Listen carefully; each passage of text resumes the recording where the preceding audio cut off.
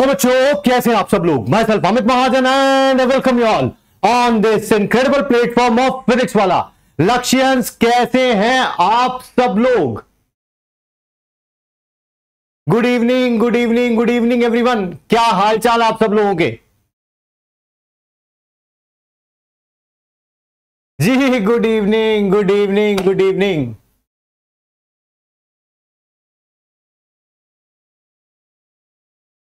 hello sir hello sir hello sir yes good evening भाई क्या हाल चाल है क्या चल रहा है लाइफ में बताओ इलेवेंथ से ट्वेल्थ का ट्रांजिशन जो है, वो कैसा लग रहा है? पहले उसके बारे में बताइए।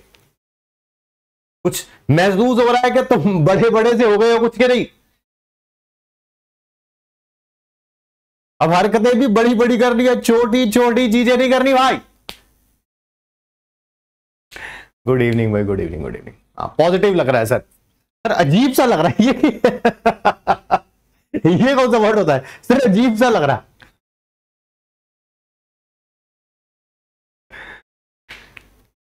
Thank you thank you thank you ठीक है। कैसे हैं, सर आप? मैं बचपन से मस्त। तुम लोग सुनाओ, तुम लोग कैसे हो भाई? मज़ा आ रहा है, सर, मज़ा आ रहा है। आना भी चाहिए भाई। सीनियर मोस्ट इन स्कूल क्या बात है? बड़ी बड़ी बातें कर रहे हो यार तुम तो।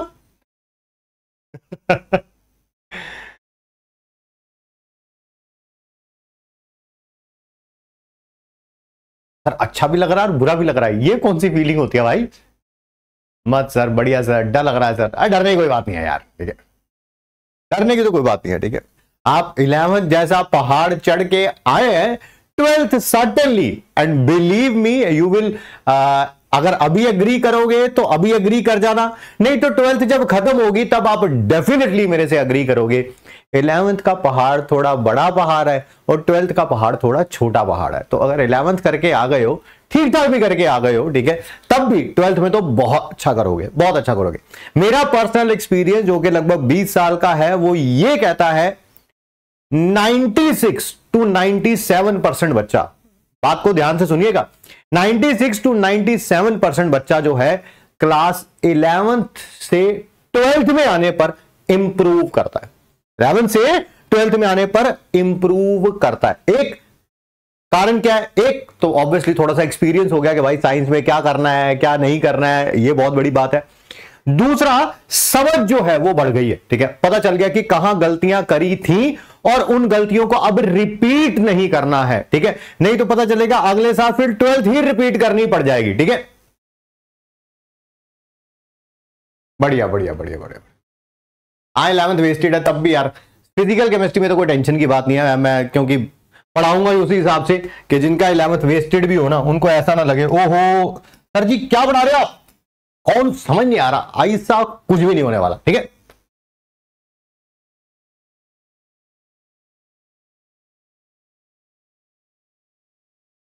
बढ़िया बढ़िया बढ़िया। बढ़िया जी, बढ़िया बढ़िया, ठीक है। आओ फिर, शुरू करें। बैच का नाम जैसे आपको पता ही है ना, लक्ष्य जेई बट जैसा कि मशहूर है दैट इज़ लक्ष्य जेई तो वही है चैप्टर हमारा फ़िज़िकल केमिस्ट्री का फ़र्स्ट चैप्टर है लिक्विड सॉल्यूशंस भी बोलते हैं, या सॉल्यूशन चैप्टर भी बोलते हैं इसे। आज लेक्चर नंबर वन है इसका, ठीक है। ध्यान दीजिए कुछ बातों के ऊपर। मैंने अभी चेक नहीं किया है but I am damn sure कि कल के कंपैरिजन में आज शायद लाइव ऑडियंस थोड़ी कम होगी। ऐसा ऐसा मेरा मानना है, मैंने चेक नहीं किया आई हैवंट सीन इट उसका रीजन पता क्या है कि कल दोनों टीचर्स आए, इतने बढ़िया बढ़िया टीचर्स आए। आप देख रहे हैं, इतनी प्यारी प्यारी बातें बता के गए आप सबको, ठीक है? पढ़ाया भी उन्होंने बट मैक्सिमम टाइम जो है आपको समझाया कि ट्वेल्थ में क्या करना है इलेवेंथ की किन गलतियों को रिपीट नहीं करना है, बट आज की लाइव संख्या से आपको पता चल रहा होगा कि ऐसा नहीं है। कहीं ना कहीं वो गलतियाँ कुछ बच्चे तो दोहरा ही रहे हैं, ठीक है? और वही बातें आपको नहीं करनी है, ठीक है? हाँ बिल्कुल बिल्कुल बिल्कुल, ठीक है? बिल्कुल, है ना? आओ क्या क्या बातों के ऊपर ध्यान रखेंगे, सबसे पहले उनको देखते हैं जी, ठीक है? Rules to attend the class ये वो चीज़ें हैं जो आपकी बैक बॉन बनेगी, जो आपकी नींव पत्थर रखेंगी आपके आईआईटी के पहुँचने के सपने तक। अगर ये चीज़ें मिसिंग है rules to attend the class unfortunately मेरे को कहना पड़ेगा कि आप गेम से बाहर हो गए। आप गेम से बाहर हो गए हैं। अगर आपने जो है इन रूल्स को फॉलो नहीं किया है तो ठीक है? तो मेक श्योर करिए एक एक रूल को आराम से मैं बताता हूँ थोड़ा थोड़ा इन पे बातें करेंगे और फिर पढ़ेंगे भी थोड़ी देर में। बट सबसे पहला क्या है, हमेशा जब भी आप क्लास ले रहे हो, किसी शांत जगह पे बैठ के क्लास लीजिए।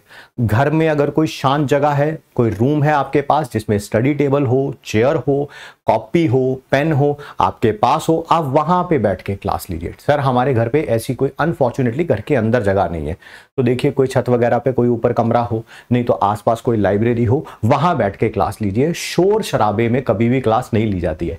ऐसा नहीं होना चाहिए कि आप अभी डाइनिंग टेबल पे बैठे हो और ऐसे एक चेयर से दूसरे चेयर पे ऐसे टांगे ऊपर करके बैठे हो और क्लास चल रही हो। अरे हाँ बढ़िया तो लग रही है यार, टीचर बढ़िया तो पढ़ा रहा है मम्मी। मैं मम्मी? चाय बना दो एक साथ साथ है। मज़ा तो आ रहा है, मम्मी, बातें तो बढ़िया कर रहा है बंदा, ठीक है?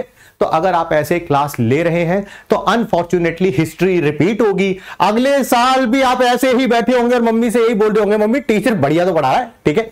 तो मेक श्योर करिए कि आप शांत जगह पे बैठे हो। रूम में कोई और नहीं होना चाहिए। कॉपी पेन आपके हाथ में होना चाहिए ताकि आप साथ साथ और हेडफोन ज़रूर लगाएँ। वेरी वेरी इंपॉर्टेंट है ना? जो बातें मैं आपसे कर रहा हूँ राइट नाउ ये सिर्फ़ और सिर्फ़ हम आपके और मेरे बीच की बातें हैं। इसमें मम्मी को, पापा को, भैया को, दीदी को या गली मोहल्ले के लोगों को या दोस्तों को इन्वॉल्व नहीं करना है। उन सब की बातों यहाँ नहीं होनी चाहिए, यहाँ की बात वहाँ नहीं होनी चाहिए, किसी भी प्रकार का इंटरफेरेंस नहीं होना चाहिए। मेक श्योर करिए कि हेडफोन ज़रूर लगाए ज़रूर लगाए, ठीक? सेकंड कभी भी किसी क्लास को इन बिटवीन ज्वाइन नहीं करना है। आप देख रहे हैं, क्लास जब शुरू हुई थी, तब संख्या जो थी, वो थोड़ी क्या थी, कम थी। अब धीरे धीरे संख्या बढ़ती जा रही है। दैट शोज़ के दूसरे दिन ही क्लास में कुछ ऐसे बच्चे आए हैं अनफॉर्चुनेटली जो क्लास में लेट एंटर किया है। कभी भी ऐसा नहीं करना। अगर गलती से कोई इमरजेंसी हो गई घर पे, आप बीमार हो गए या घर पे कोई मेडिकल इमरजेंसी हो गई, आपने क्लास लेट ज्वाइन भी अगर करी है तो भाई क्लास को शुरू से देखें। क्लास को शुरू से देखें। ऐसा नहीं कि पंद्रह मिनट बाद आए टीचर पंद्रह मिनट के बाद पढ़ा रहा है और वहीं से शुरू कर दिए, ठीक है? आहिस्सा नहीं है भाई अहिस्सा नहीं है। क्लास को हमेशा शुरू से देखें, ठीक है? अगर लेट आए भी हैं, पहली बात तो लेट मत आइए, आए भी हैं तो शुरू से देखें, ठीक है? Second don't join the live class in the middle of the chapter आज फ़र्स्ट क्लास है तो ऑब्वियसली आप सुस्वागतम है आपका आज की क्लास में। मान लीजिए कल सेकंड होगी या परसों, जब भी थर्ड होगी, ठीक है? ऐसा नहीं होगा कि जो थर्ड क्लास है आपकी, वो आपकी फ़र्स्ट क्लास हो। चैप्टर की थर्ड क्लास आपकी फ़र्स्ट क्लास नहीं होनी चाहिए, नहीं तो रिज़ल्ट भी थर्ड क्लास ही आएगा। मैं पहले वार्निंग दे रहा हूँ ताकि आप इन बातों से सीख सके, कोई गलती ना करें आप, ठीक है?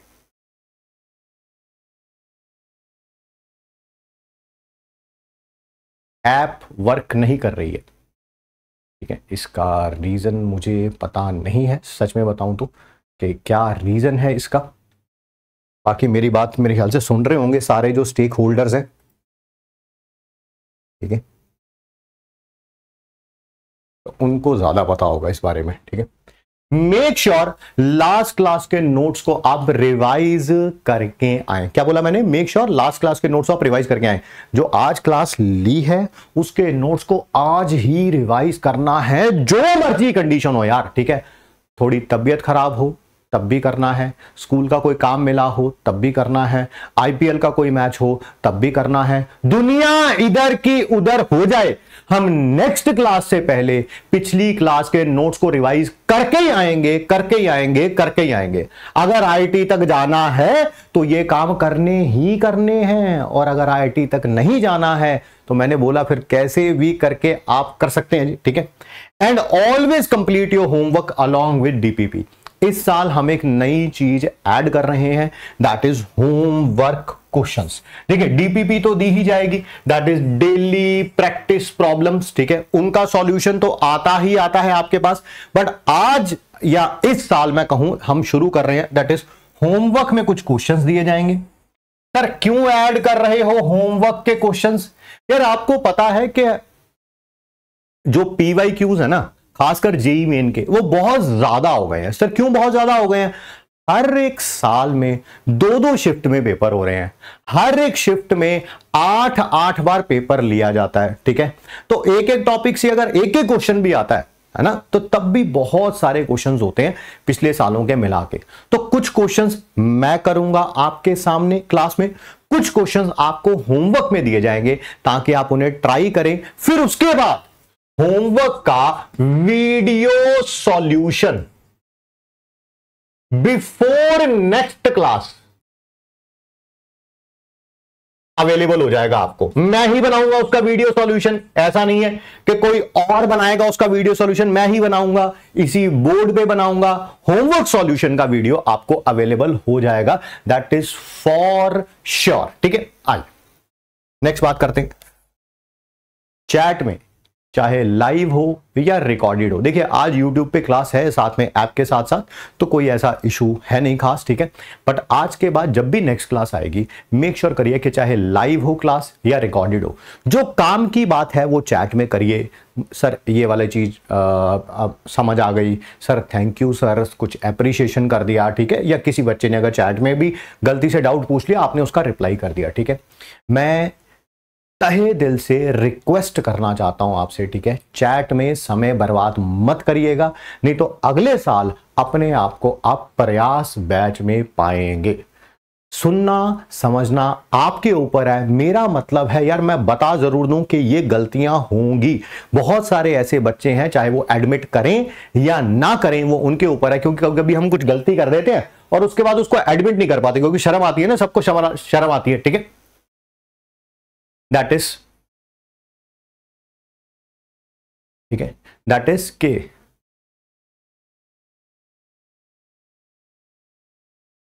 ठीक है जी, सर, है ना, काम की चीज़ें भी बोल रहे हैं चैट के अंदर बच्चे, ऐसी बात नहीं है। बच्चे बोल रहे हैं, सर होमवर्क के अंदर ना अच्छी अच्छी किताबों के क्वेश्चन दीजिएगा। मैं बता देता हूँ आपको किन अच्छी अच्छी किताबों के हम क्वेश्चन देंगे, वो भी आज मैं किताबें आपके सामने दिखाऊँगा अभी आप लोगों को, ठीक है? मेक श्योर के चैट के अंदर कोई भी आज की क्लास से रिलेटेड है, बात करिए, ठीक है? लड़कियों से टेलीग्राम आईडी इंस्टाग्राम आईडी है ना? व्हाट्सएप नंबर फ़ोन नंबर मांगने बंद कर दीजिए। अब आप इलेवेंथ से ट्वेल्थ में आ गए हैं ना? शो करिए that you are capable of being an IITian बहुत सारे आईआईटी में ऐसे बच्चे होते हैं, हर साल होते हैं, हर साल रिज़ल्ट सेलिब्रेशन में हम मिलते हैं। पिछले साल भी मैं लक्ष्य जेई में था, उससे पिछले साल भी अर्जुना के तब दो बैच थे तो इस कारण मैं लक्ष्य में नहीं था, ठीक है? हर साल मैं बैच में होता हूँ। प्रयास में था उससे पिछले साल। हाँ लक्ष्य में नहीं था तो उससे पिछले साल प्रयास में था। हर साल हमें ये बात सुनने को मिलती है कि सर, इलेवन जो थी, वो बहुत अच्छी नहीं गई थी बट ट्वेल्थ में आके हमने मेहनत करी, अपनी गलतियों को सुधारा और ऑब्वियसली अब हम आई हैं, ठीक है? नेक्स्ट मैक्सिमम नोट्स क्लास के साथ बनाइए, ठीक है? जब मैं यहाँ पर बोल रहा हूँ, तब आपका पेन भी साथ साथ चलना चाहिए, मेरे पेन के साथ साथ भी।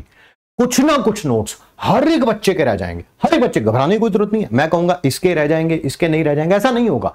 हर एक बच्चा जब मेरे साथ साथ लिखने की कोशिश करेगा दो चार लाइनें कहीं ना कहीं रह ही जाएँगी। हो सकता है एक पेज में एक लाइन रह जाए, दूसरे पेज में आधी लाइन रह जाए। उसके लिए जगह छोड़ दीजिए।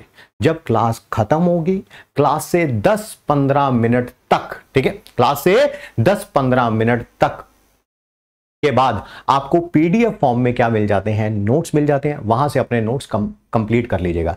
कोशिश करिए क्लास के साथ मैक्सिमम नोट्स बनाने की। जब नोट्स बनाने कैसे हैं, वो भी मैं आपको बता देता हूँ। देखिए, जब टीचर यहाँ पर पढ़ा रहा है, ठीक है? जैसे मैं लिख रहा हूँ my name is Amit Mahajan है ना? ये मैं लिख रहा हूँ। तो आपने पता क्या करना है? कॉपी आपके नीचे होगी पेन आपके हाथ में होगा। गर्दन आपकी हमेशा मेरी तरफ़ होगी, कैमरे की तरफ़ होगी, कहने का मतलब आपके मोबाइल, लैपटॉप, टीवी, जहाँ पर भी आप वीडियो देख रहे हैं, उसकी तरफ़ होगी। मैंने लिखा है my name is Amit Mahajan तो आपको भी नीचे वही लिखना है। पेन नीचे चलता रहेगा, गर्दन मेरी तरफ़ होगी, ऐसे नहीं लिखना है। पहले देखा माई, फिर लिखा माई। नेम, फिर लिखा नेम। इज़, फिर लिखा इज़। नहीं, ऐसे नहीं नोट्स बनाए जाते हैं, नोट्स ऐसे बनाए जाते हैं, टीचर सामने है, नीचे पेन चलता रहेगा, my name is Amit Mahajan that's it ठीक है? इस तरह से नोट्स बनाए जाते हैं। ऐसे नहीं कि एक एक वर्ड देखा, लिखा देखा, लिखा। एक और जगह आपको प्रॉब्लम आएगी, वो भी मैं बता देता हूँ आपको क्या आएगी।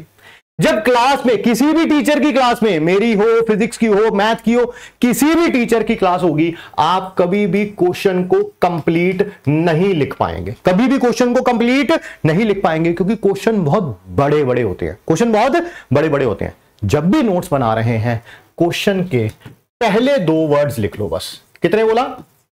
पहले दो वर्ड्स लिख लो, ठीक है? जैसे फाइंड द जो भी आगे क्वेश्चन है फाइंड द लिख लिया। उसके बाद क्वेश्चन को मेरे साथ पढ़ो, समझो सॉल्व करो।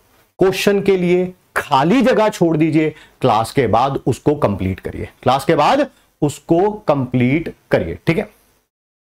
Next very important point I am extremely proud to say कि मैं डाउट सेक्शन में बहुत बहुत बहुत ज़्यादा समय लगाता हूँ। पिछले साल जितने अर्जुना जे टू पॉइंट के बच्चे थे, वो इस बात को वाउच कर सकते हैं कि कभी कभी तो रात के दो बजे तक तीन बजे तक मैं आपकी क्लास के डाउट सॉल्व कर रहा था। और ये बच्चों को पता मतलब कि ये बच्चों को पता मैं ऐसा ब्रैग नहीं कर रहा हूँ। मैंने बहुत अपनी नींदें खराब करी हैं। क्लास आँखों के नीचे जो आपको डार्क सर्कल्स नज़र आते हैं, वो इसी कारण नज़र आते हैं।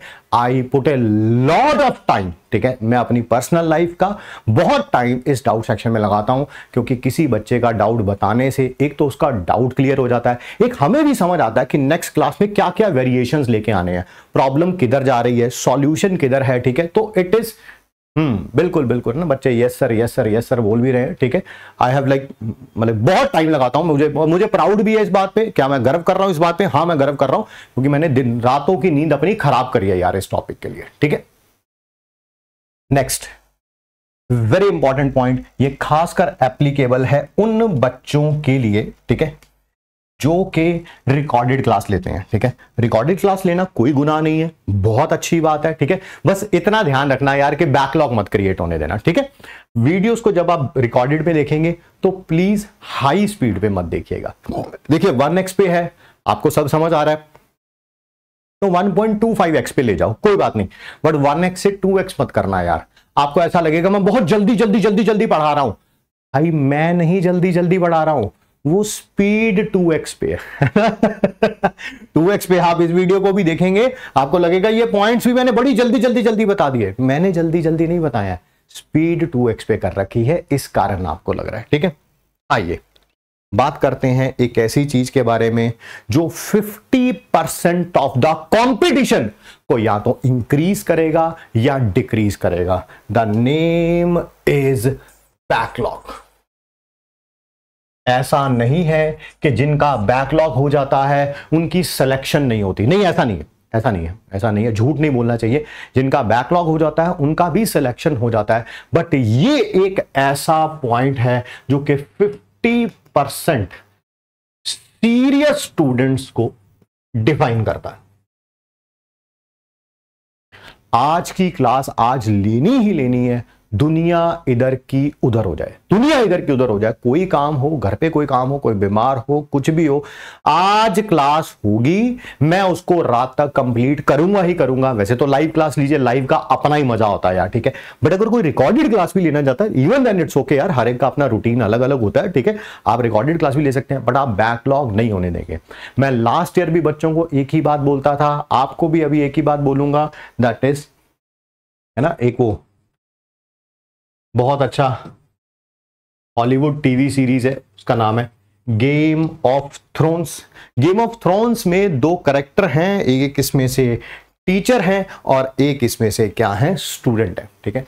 ये जो स्टूडेंट है, जब इनके फादर जो इस टीचर के पास लेके आते हैं और कहते हैं कि इसको तलवारबाजी सिखाई जाए, ये लड़की बहुत जो है वो चंचल होती है, ठीक है? शरारतें करती रहती है। ज़्यादा फोकस इनिशियल डेज़ में अच्छा नहीं होता है इसका, ठीक है?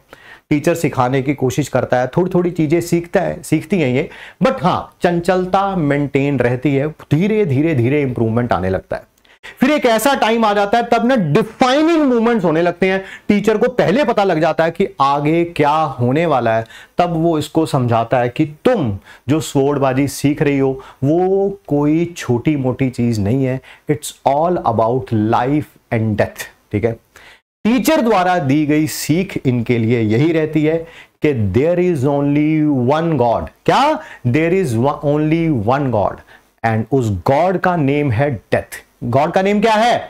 डेथ आज जब डेथ आएगी तो तुम क्या बोलोगी? ये बोलती है, आज आएगी अगर डेथ तो मैं बोलूँगी नॉट टुडे आज तो नहीं मरूँगी, बाकी किसी और दिन की और दिन देखी जाएगी। Same is the case with you people also ठीक है?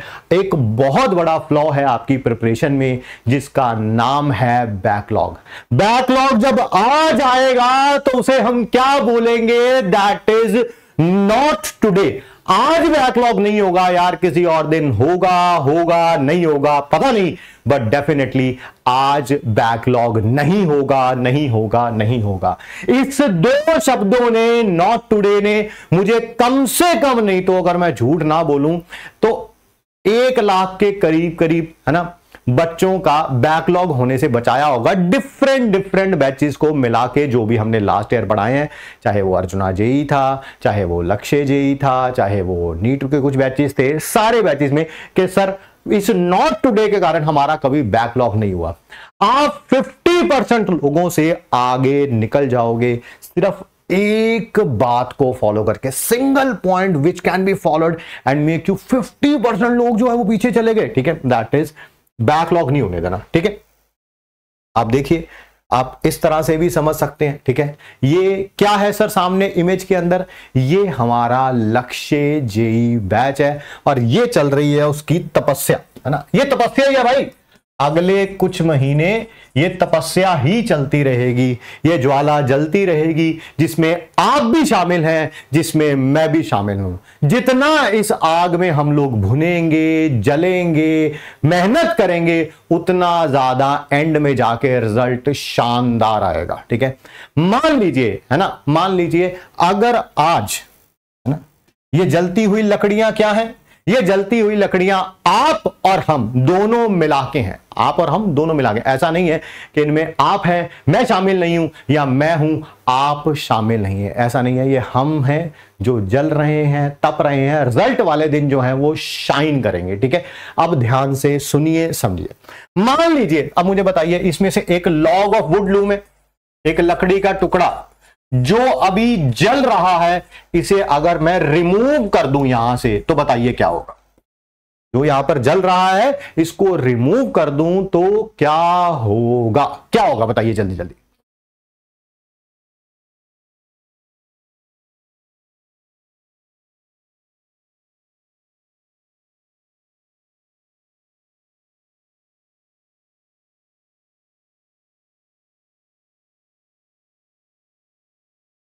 कुछ बच्चे कह रहे हैं, सर, आग कम हो जाएगी। कुछ कह रहे हैं कि, सर बर्निंग स्टॉप हो जाएगी। कुछ कह रहे हैं कि हीट कम होगी। ठीक है? सबसे पहला इंपैक्ट पता किसको पड़ेगा? सबसे पहला इंपैक्ट सबसे पहला इंपैक्ट पड़ेगा उस लॉग ऑफ़ वुड को।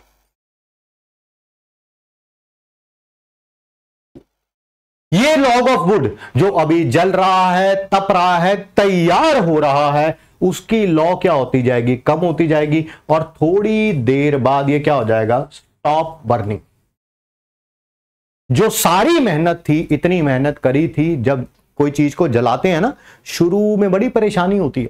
धीरे धीरे धीरे चल के वो लॉ क्या हो जाती है? सेट हो जाती है। आप एक बार यहाँ से ये बाहर निकला, थोड़ी देर बाद क्या हो जाएगा? ये बर्निंग स्टॉप हो जाएगी। यहाँ पर क्या छा जाएगा? डार्कनेस आ जाएगी, है ना? यही होगा कि नहीं होगा? ठीक है। यहाँ पर लॉ कम होगी, वो एक अलग बात है। बट इस लकड़ी के टुकड़े के साथ क्या होगा कि इसके चारों तरफ़ अंधेरा छा जाएगा। यही बैकलॉग है। आज पहला दिन है, आज सारे जल रहे हैं, इसकी लॉ आपको बड़ी शानदार नज़र आ रही है। अगर आप में से कुछ टुकड़े इधर से इधर आ गए जलना बंद हो जाएगा, ठीक है? थोड़ी देर बाद उनको अपने आसपास क्या नज़र आएगा? अंधेरा ही अंधेरा नज़र आएगा।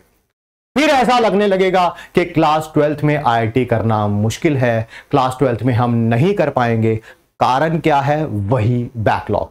जब आप कुछ दिन क्लास में नहीं आते हैं, अगला चैप्टर शुरू हो जाता है, कॉन्फिडेंस अपने आप ही डाउन हो जाता है। कॉन्फिडेंस अपने आप ही क्या हो जाता है? डाउन हो जाता है। अपने आप को लगने लगता है, हम नहीं कर सकते हैं। नहीं भाई, तुम कर सकते हो। तुम नहीं कर सकते तो कोई भी नहीं कर सकता। Condition apply is there is only one condition कि आपको जलना पड़ेगा। You have to come here day in and day out ऐसा नहीं है कि कुछ दिन लॉ जलेगी, बाहर निकल जाओगे तो बड़ी मुश्किल होगी, ठीक है?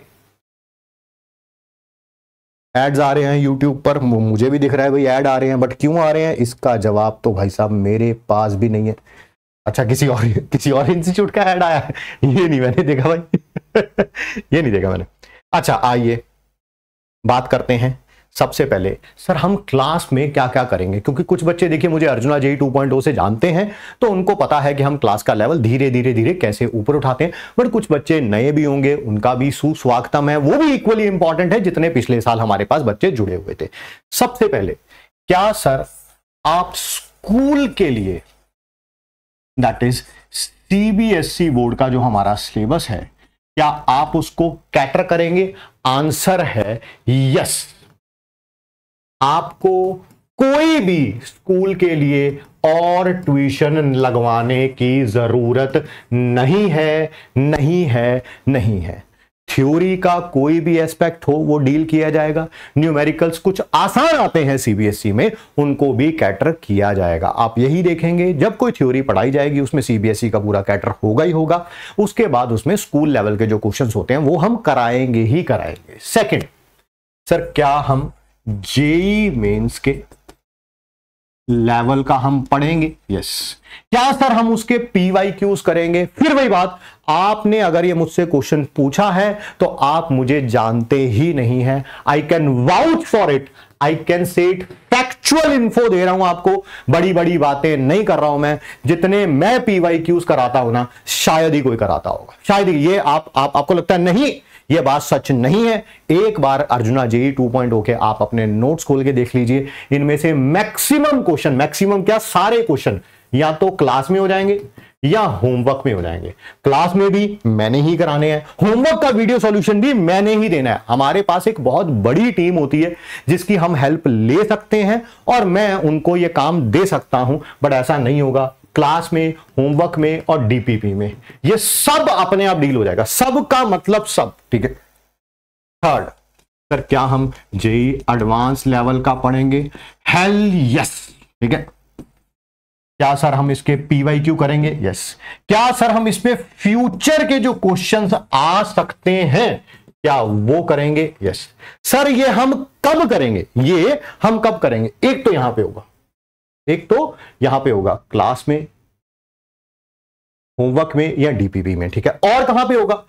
लास्ट ईयर भी हमने लेवल अप लेक्चर्स काफ़ी चैप्टर्स के दिए हैं।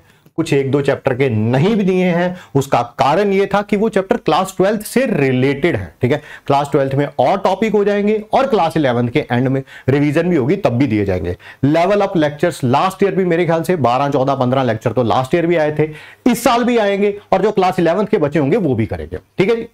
बिल्कुल बिल्कुल बिल्कुल। सर, क्या कोई हमें बुक्स लेने की ज़रूरत है?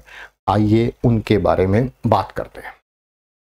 दो ऐसी बुक्स हैं जो आपके स्कूल सिलेबस के लिए as well as JEE Mains के लिए मस्ट है। वो दोनों बुक्स ये हैं। ये मस्ट है। ये आपके पास होनी ही चाहिए। सर, क्या इसमें से हमें चैप्टर को रीड करना है? ये पार्ट वन है क्लास ट्वेल्थ क्लास ट्वेल्थ की एनसीईआरटी का। ये पार्ट टू है। मेरी फ़िज़िकल केमिस्ट्री के जो चैप्टर्स हैं, वो सारे इसी में हैं बट आपको ऑब्वियसली ऑर्गेनिक के लिए भी ये पढ़नी पड़ेगी। कोई ऐसा रास्ता है नहीं कि आप ना पढ़े। सर, ये कब पढ़नी है? वेरी इंपॉर्टेंट पॉइंट ये कब पढ़नी है? जब चैप्टर क्या हो जाएगा? फिनिश जब चैप्टर क्या हो जाएगा? दैट इज़ फिनिश हो जाएगा।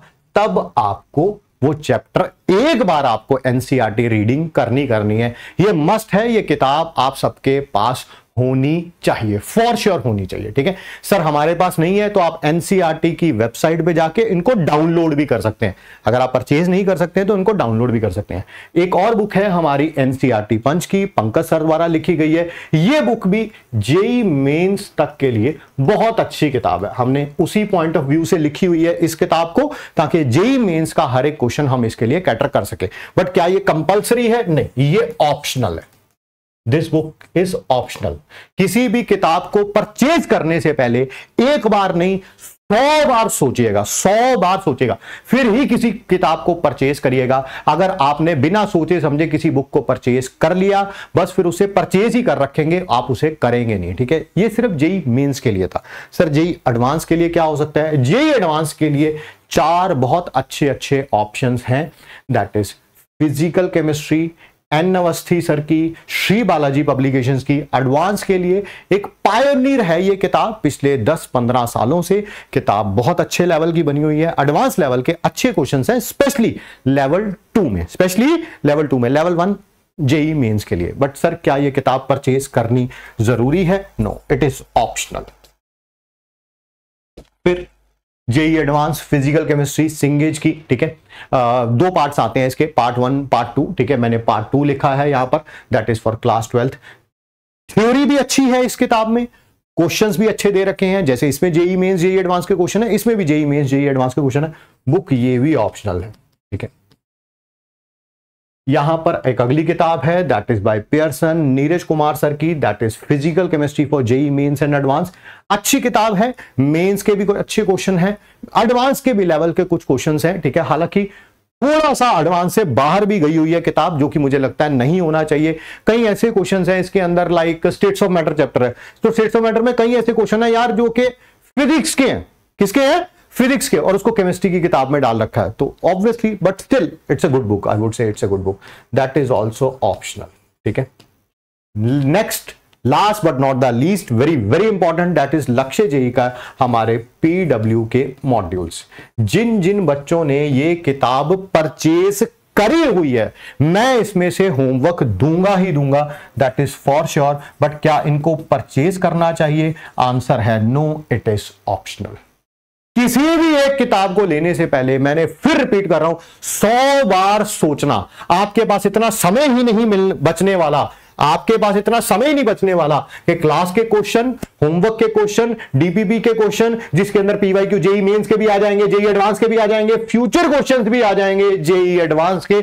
उसके बाद आपके पास समय बचने वाला ही नहीं है। नहीं है कि आप किसी किताब को कर सकें। बट फिर सर, आपने ये किताबें क्यों बताई हैं?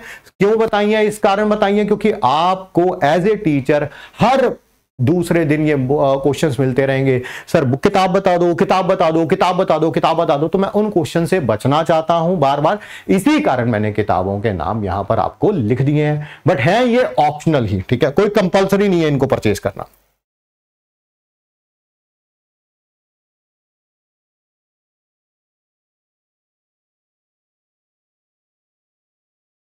सर अदर स्टेट बोर्ड्स के हाँ। तो जितना हमारा सीबीएसई e का सिलेबस होता है भाई, उसको तो हम कराते कराते हैं, ठीक है? सर, क्या आप एन अवस्थी से होमवर्क दे सकते हैं? सच बात बताएँ, देखो, कुछ भी कमिट करना पहली क्लास में बहुत ज़्यादा आसान होता है, ठीक है? आंसर है नो हाँ क्या आप फ़िज़िकल केमिस्ट्री के जो क्वेश्चंस हैं जो क्लास में कराएँगे, या ये वाला होमवर्क जो देंगे, ये वाला ये वाला। ये जिसके मैंने वीडियो सॉल्यूशंस भी देने आपको। क्या ये इसमें आप इन किताबों में से क्वेश्चंस लेंगे? यस डेफिनेटली कुछ क्वेश्चन मॉड्यूल में से भी हो सकते हैं, नीरे कुमार में से भी हो सकते हैं, इसमें से भी हो सकते हैं, इसमें से भी हो सकते हैं, ठीक है? उसमें से भी हो सकते हैं और डेफिनेटली इनमें से भी हो सकते हैं, ठीक है? वो मेरा काम है ना, क्योंकि मुझे पता है कि मुझे क्या करना है, क्या नहीं करना है, ठीक है बेटा? करें जी फिर, शुरू करें अब आज की क्लास को। शुरू करें आज की क्लास को। सॉल्यूशन के लिए तैयार हैं आप सब लोग।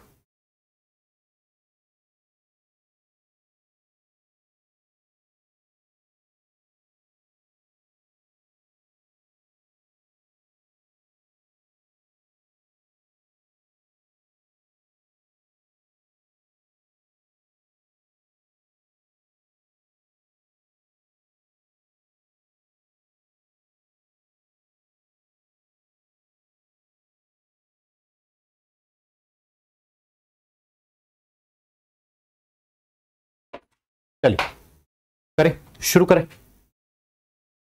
आइए, शुरू करते हैं भाई आज की क्लास को, ठीक है? चैप्टर का नाम ऑब्वियसली क्या है? दैट इज़ लिक्विड सॉल्यूशंस आज किन छोटी छोटी बातों के बारे में हम बात करेंगे? सबसे पहले हम बात करेंगे कि सॉल्यूशन होता ही क्या है, ठीक है? फिर उसके बाद हम बात करेंगे कि सॉल्यूशन के कौन कौन से कंपोनेंट्स होते हैं। सॉल्यूट हो गया सॉल्वेंट हो गया सॉल्यूशन के टाइप्स के बारे में भी बात करेंगे। एक छोटी सी टर्म है जिसको हम लोग क्या बोलते हैं? दैट इज़ मोल जिनकी भी इलेवंथ बर्बाद होगी इलेवंथ में जो जो टॉपिक डिस्कस होने वाला है, वो सारी मेरी जिम्मेवारी। आपकी जिम्मेवारी नहीं है? मेरी जिम्मेवारी है कि क्लास ट्वेल्थ में अगर वो टॉपिक यूज़ हो रहा है तो पहले मुझे उसको पढ़ाना है। ये मेरा काम है। हाँ ट्वेल्थ में पढ़ने के बाद भूलना नहीं है, वो आपका काम है। ठीक है? वो आपका काम है। ठीक है? कॉपी नंबर बता दो। नोटबुक्स बता दो, ये क्या होता है? हाउ मेनी नोटबुक्स झूठ मत बोलना। और कंसंट्रेशन टर्म्स पढ़ेंगे, हैं? नोटबुक्स बता दो, क्या नोटबुक बता कॉपी कॉपी बता दो, क्या बताऊँ उसमें? न्यू कॉपी लगा लीजिए। मैं फ़िज़िकल केमिस्ट्री की अलग लगेगी इनऑर्गेनिक की अलग लगेगी ऑर्गेनिक की अलग लगेगी। मैं फ़िज़िकल केमिस्ट्री पढ़ा रहा हूँ तो फ़िज़िकल केमिस्ट्री में शुरू हो जाइए। पहला चैप्टर है दैट इज़ सॉल्यूशंस और कौन सी नोटबुक होती है?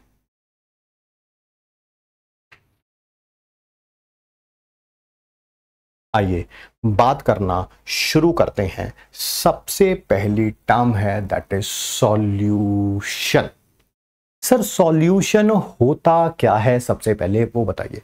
सॉल्यूशन भाई, ये क्या होता है? पहली बात तो ये क्या होता है? मिक्सचर होता है।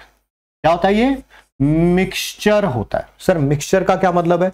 दो या दो से ज़्यादा चीज़ों को आपस में मिक्स किया जाता है। दो या दो से ज़्यादा चीज़ों को आपस में मिक्स किया जाता है तो उसको क्या बोलते हैं हम? सॉल्यूशन। जनरल टर्म्स में अगर बात करें, जनरल टर्म्स में अगर हम बात करें, जो बाइनरी सॉल्यूशन होता है बेटा बाइनरी का मतलब क्या है? दो कंपोनेंट से मिलके बना हुआ कितने कंपोनेंट से मिलके बना हुआ? दो कंपोनेंट से मिलके बना हुआ। दो चीज़ों से आपस में मिलके बना हुआ।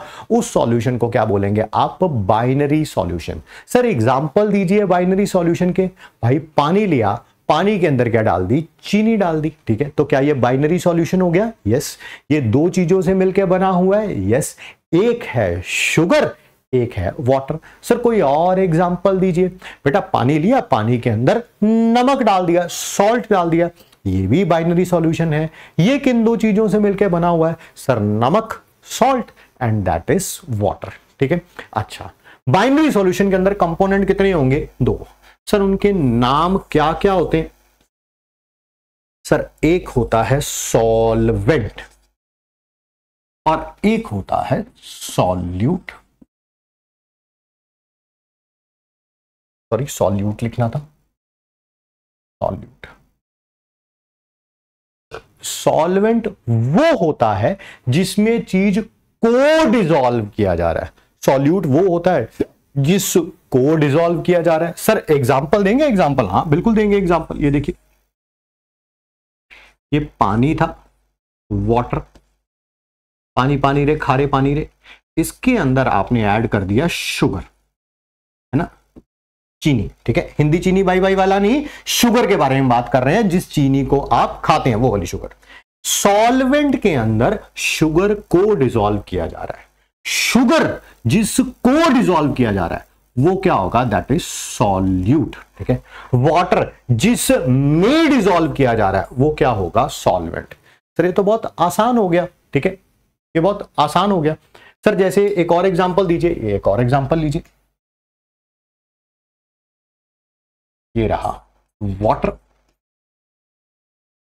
और इसके अंदर अब की बार हम क्या डाल रहे हैं? सॉल्ट जिसको डिजोल्व किया जा रहा है, वो क्या होगा? सॉल्यूट जिस में डिजोल्व किया जा रहा है, वो क्या होगा? सॉल्वेंट सर, आप बार बार ऐसा नहीं कर रहे। एक आपने क्या लिया है? सॉलिड सब्सटेंस लिया है। दूसरा आपने क्या लिया है? लिक्विड सब्सटेंस लिया है। तो जो सॉलिड वाला होगा जनरल बात कर रहा हूँ जनरल वो क्या होगा? सॉल्यूट क्वांटिटी कम है ऑब्वियसली इसकी।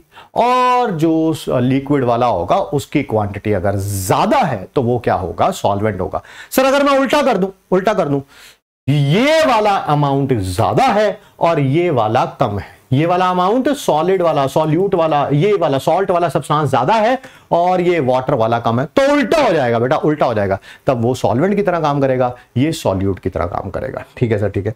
सर, एक सॉलिड था, एक लिक्विड था। सर, अगर दोनों लिक्विड हो, दोनों लिक्विड हो। सर, मैंने सर, मैंने पिक्चरों में देखा है, सर पिक्चरों में देखा है। लोग क्या करते हैं? एल्कोहल शराब, है ना? दो गुट पिला दे साथ या बाकी मेरे उत्ते रोड दे डेडिकेटेड सॉन्ग ठीक है? सर, शराब के अंदर पानी डालते हैं, सर, पानी, ठीक है? नहीं, सर, पानी के अंदर शराब डालते हैं, मेरे ख्याल से तो जितना मैंने मूवीज़ में देखा है, शराब के अंदर मेरे ख्याल से पानी डालते हैं, ठीक है? तो अब बताइए सॉल्वेंट कौन होगा और सॉल्यूट कौन होगा? सॉल्वेंट कौन होगा और सॉल्यूट क्या होगा? क्योंकि ये भी लिक्विड है, ये भी लिक्विड है। अगर इसकी वॉल्यूम हाई है, इसकी वॉल्यूम हाई है, ठीक है तो ये सॉल्वेंट होगा। इसकी वॉल्यूम अगर लेस है तो ये सॉल्यूट होगा। सर, उल्टा हो जाता, उल्टा हो जाता। अगर इसकी वॉल्यूम ज़्यादा होती इसकी वॉल्यूम कम होती तो बेटा ये सॉल्वेंट हो जाता, ये सॉल्यूट हो जाता। जितना मुझे याद आ रहा है, जेई एडवांस 2018 सॉरी 2008 2008 का क्वेश्चन है कॉम्प्रीहेंशन टाइप क्वेश्चन आया था। उसमें क्या था? इथेनॉल और वाटर का ही मिक्सचर लिया गया था। बट उसमें था क्या? इथेनॉल की वॉल्यूम ज़्यादा थी, वाटर की वॉल्यूम कम थी। जिसकी वॉल्यूम ज़्यादा होगी, वो सॉल्वेंट होगा। जिसकी वॉल्यूम कम होगी, वो क्या होगा? सॉल्यूट होगा, ठीक है? सर, अगर दोनों इक्वल होंगे तो ऐसा क्वेश्चन नहीं आएगा। बट मान लीजिए, अगर आया भी है तो वाटर जो है, वो क्या होगा? सॉल्वेंट होगा। वाटर जो है, वो क्या होगा? सॉल्वेंट होगा, ठीक है? आउट द चैप्टर मैं सॉल्वेंट को ए से डिनोट करूँगा सॉल्यूट को बी से डिनोट करूँगा। क्या? सॉल्वेंट को क्या करूँगा? ए से और सॉल्यूट को क्या करूँगा? बी से। कहीं पर भी बी वर्ड मैंने यूज़ किया हो तो समझ जाना सर सॉल्यूट के बारे में बात कर रहे हैं। अगर कहीं पर भी मैंने ए वर्ड यूज़ किया हो तो समझ जाना कि दैट इज़ सर सॉल्वेंट के बारे में बात कर रहे हैं। ये देखिए, एक एग्जांपल ये प्योर वाटर है. इसके अंदर राइट नाउ कोई भी शुगर नहीं है. तो एक ही कंपोनेंट है दैट इज़ वाटर जैसे जैसे आप इसमें शुगर डालते जाएँगे शुगर डिजोल्व होती जाएगी होती जाएगी होती जाएगी होती जाएगी होती जाएगी. एक ऐसा समय आएगा, एक ऐसा समय आएगा जब शुगर डिजोल्व होना बंद हो जाएगी. जब शुगर डिजोल्व होना क्या हो जाएगी? बंद हो जाएगी. उस सॉल्यूशन को हम लोग क्या बोलते हैं? सैचुरेटेड सॉल्यूशन क्या बोलते हैं हम लोग? सैचुरेटेड सॉल्यूशन जब तक शुगर डिजोल्व होती जा रही है पानी में, जब तक शुगर डिजोल्व होती जा रही है, वो क्या कहलाएगा? अनसेचुरेटेड सॉल्यूशन और जब शुगर डिजोल्व होना क्या हो जाएगी? बंद। उसे क्या बोलेंगे हम? सैचुरेटेड सॉल्यूशन सर, ऐसा हमने अपने घर में होता हुआ देखा भी है। कब देखा भाई? सर, जब मम्मी चाशनी बनाते हैं, या कोई हलवाई वगैरह भी क्या बनाता है? चाशनी बनाता है। चाशनी में क्या होता है? पानी होता है। पानी में ऊपर से क्या डालते हैं? चीनी डालते हैं और उसको मिक्स करते रहते हैं। बस उसमें फ़र्क इतना है कि नीचे गर्म कर रहे होते हैं उसे, ठीक है?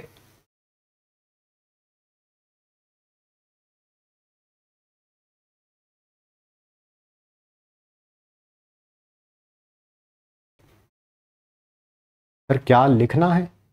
बेटा, जो मैं लिखवा रहा हूँ सब कुछ लिखना है, ठीक है? हाँ जो जहाँ से पेपर में क्वेश्चन आएगा, उसे हम बोलते हैं एम आई टी क्या बोलते हैं हम? M I T that is most important things paper में जब क्वेश्चन आएगा, वो इन्हीं में से आएगा। नोट्स तो देखो, सारे ही बनाने हैं, जो मैंने क्लास में लिखवाया, वो सारे ही नोट्स हैं। वो सारे ही नोट्स हैं, ठीक है? बट जिनमें से पेपर में क्वेश्चन आएगा, या आप ये भी कह सकते हो, हमारे शॉर्ट नोट्स कहाँ हैं सर भाई, पूरा पढ़ लिया सर एंड में जाके तो इतना सा ही रिवाइज करके जाना होता है ना, पूरा एक एक वर्ड थोड़ा रिवाइज करके जाना होता है वो आपको कहाँ पे लिखवाए जाएँगे? दैट इज़ एम आई मैं भी एक एम आई टी ही हूँ। देखो, मेरा नाम भी यही है A M I T I M A most important teacher sir आप अपने मुँह से अपनी बड़ाई कर रहे हो। भाई, पढ़िए, फिर उसके बाद बात करेंगे, ठीक है? सबसे पहले हम टाइप्स ऑफ़ सॉल्यूशन के बारे में बात करेंगे। ये एक आपको नज़र आ रहा है टेबल ये टेबल एज इट इज़ हमने एनसीईआरटी में से लिया है। एनसीईआरटी की बड़ी इंपॉर्टेंस है यार when it comes to JEE Mains JEE advance में भी इंपॉर्टेंस है, इतनी ज़्यादा नहीं बट हाँ जेई मेंस में बहुत ज़्यादा इंपॉर्टेंट है। आज की डेट के जो जेई मेंस के क्वेश्चन आ रहे हैं as it is as it is NCERT की लाइन उठाई और उसका क्वेश्चन बना दिया और पेपर में डाल दिया, ठीक है? इसी कारण हमने ये जो पूरा का पूरा जो ये आपको टेबल नज़र आ रहा है, ये आपको एनसीआरटी में भी नज़र आएगा। ये हमारा आज का सबसे पहला एमआईटी है। सॉल्वेंट जब गैस होगा सॉल्वेंट जब गैस होगा, उसे बोलेंगे हम गैसियस सॉल्यूशन सॉल्वेंट जब लिक्विड होगा, उसे हम बोलेंगे लिक्विड सॉल्यूशन। सॉल्वेंट जब सॉलिड होगा, उसे हम बोलेंगे सॉलिड सॉल्यूशन। आइए सॉल्यूट और सॉल्वेंट के बारे में बात करते हैं। अगर सॉल्यूट बी गैस है, सॉल्वेंट बी गैस है तो जो सॉल्यूशन बनेगा, वो एक टाइप का गैसियस सॉल्यूशन है, ठीक है? और इसके एग्जांपल क्या है? Mixture of oxygen and nitrogen gases. Sir, सीधी तरह नहीं लिख सकते कि इसका मिक्सचर एयर है। क्योंकि एयर के अंदर ऑक्सीजन भी होती है एज वेल एज नाइट्रोजन भी होती है। क्या ये सारे एग्ज़ाम्पल आपको याद करने हैं? थोड़ा दिमाग लगाइए। कोई आपसे पूछे कि एयर के अंदर सॉल्वेंट कौन है और सॉल्यूट कौन है? सर सॉल्वेंट होगा नाइट्रोजन क्योंकि वो 78 परसेंट होता है। सॉल्यूट क्या होगा? दैट इज़ ऑक्सीजन क्योंकि वो अप्रोक्सीमेटली 21 परसेंट होता है। तो दोनों ही गैस हैं तो वो गैसीय सॉल्यूशन है ही। मतलब कि आपको याद करने की कोई बहुत ज़्यादा ज़रूरत नहीं है। अगर सॉल्यूट लिक्विड है और सॉल्वेंट गैस है, यानी कि लिक्विड को गैस के अंदर डिजोल्व किया गया लिक्विड को गैस के अंदर डिजोल्व किया गया। एग्ज़ाम्पल है chloroform mixed with nitrogen gas क्या क्लोरोफॉर्म का फॉर्मूला पता है? Yes C H C L three nitrogen का तो चलो पता ही होगा that is N two gas sir ये क्लोरोफॉर्म कौन सा लिक्विड है? भाई, आपने देखा नहीं है क्या? वो पुरानी हिंदी मूवीज़ आपने देखी होंगी, जिसमें क्या करते एक हैंकी लेते थे, उसके ऊपर कुछ लिक्विड डालते थे, और फिर उसको किसी के भी नाक के ऊपर उस लिक्विड को रख देते थे, और थोड़ी सेकंड बाद ही वो आदमी क्या हो जाता था? बेहोश हो जाता था। यस वो क्लोरोफॉर्म ही है। वो क्लोरोफॉर्म ही है, ठीक है? वो क्लोरोफॉर्म ही है, ठीक है? एक बच्चा कह रहा है, सर, इतनी शुरुआत से नहीं पढ़ना था। भाई, मजबूरी है। अगर हमने कमिट किया है कि ज़ीरो से स्टार्ट करेंगे एंड ज़ीरो से स्टार्ट करना ही चाहिए। सिर्फ़ बोलने में नहीं, कर्मों में भी होना चाहिए ना ये, ठीक है? सबको मौका मिलना चाहिए जिनकी इलेवंथ अच्छी गई है। उन बच्चों को भी अपना लेवल बढ़ाने का मौका मिलना चाहिए। जिनकी थोड़ी वीक गई है, उनको भी मौका मिलना चाहिए। जिनकी बर्बाद गई है, उनको भी मिलना चाहिए। नहीं कर सकते ना ऐसा ठीक है?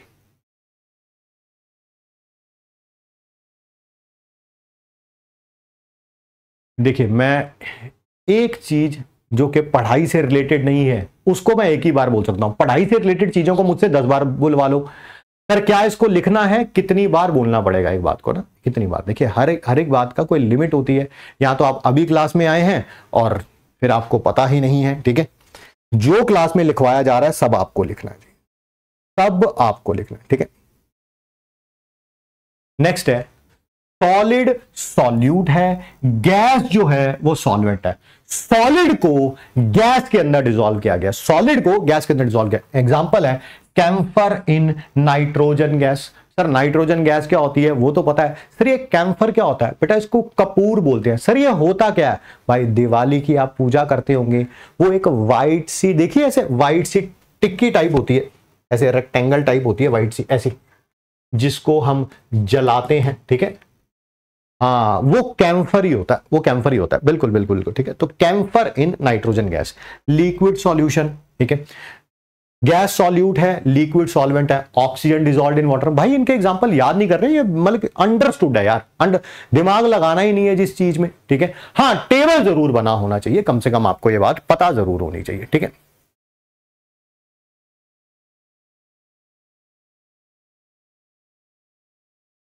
हाँ हाँ हाँ हाँ। कुछ बच्चे कह रहे हैं वी आ, ये क्लियर नहीं है। अब हो जाएगा क्लियर देखना जरा अब हो जाएगा क्लियर देखिए अब क्लियर है? अब क्लियर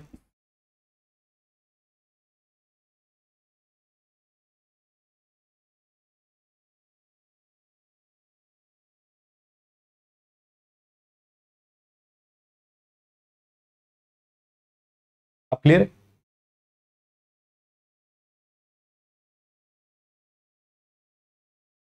ठीक है?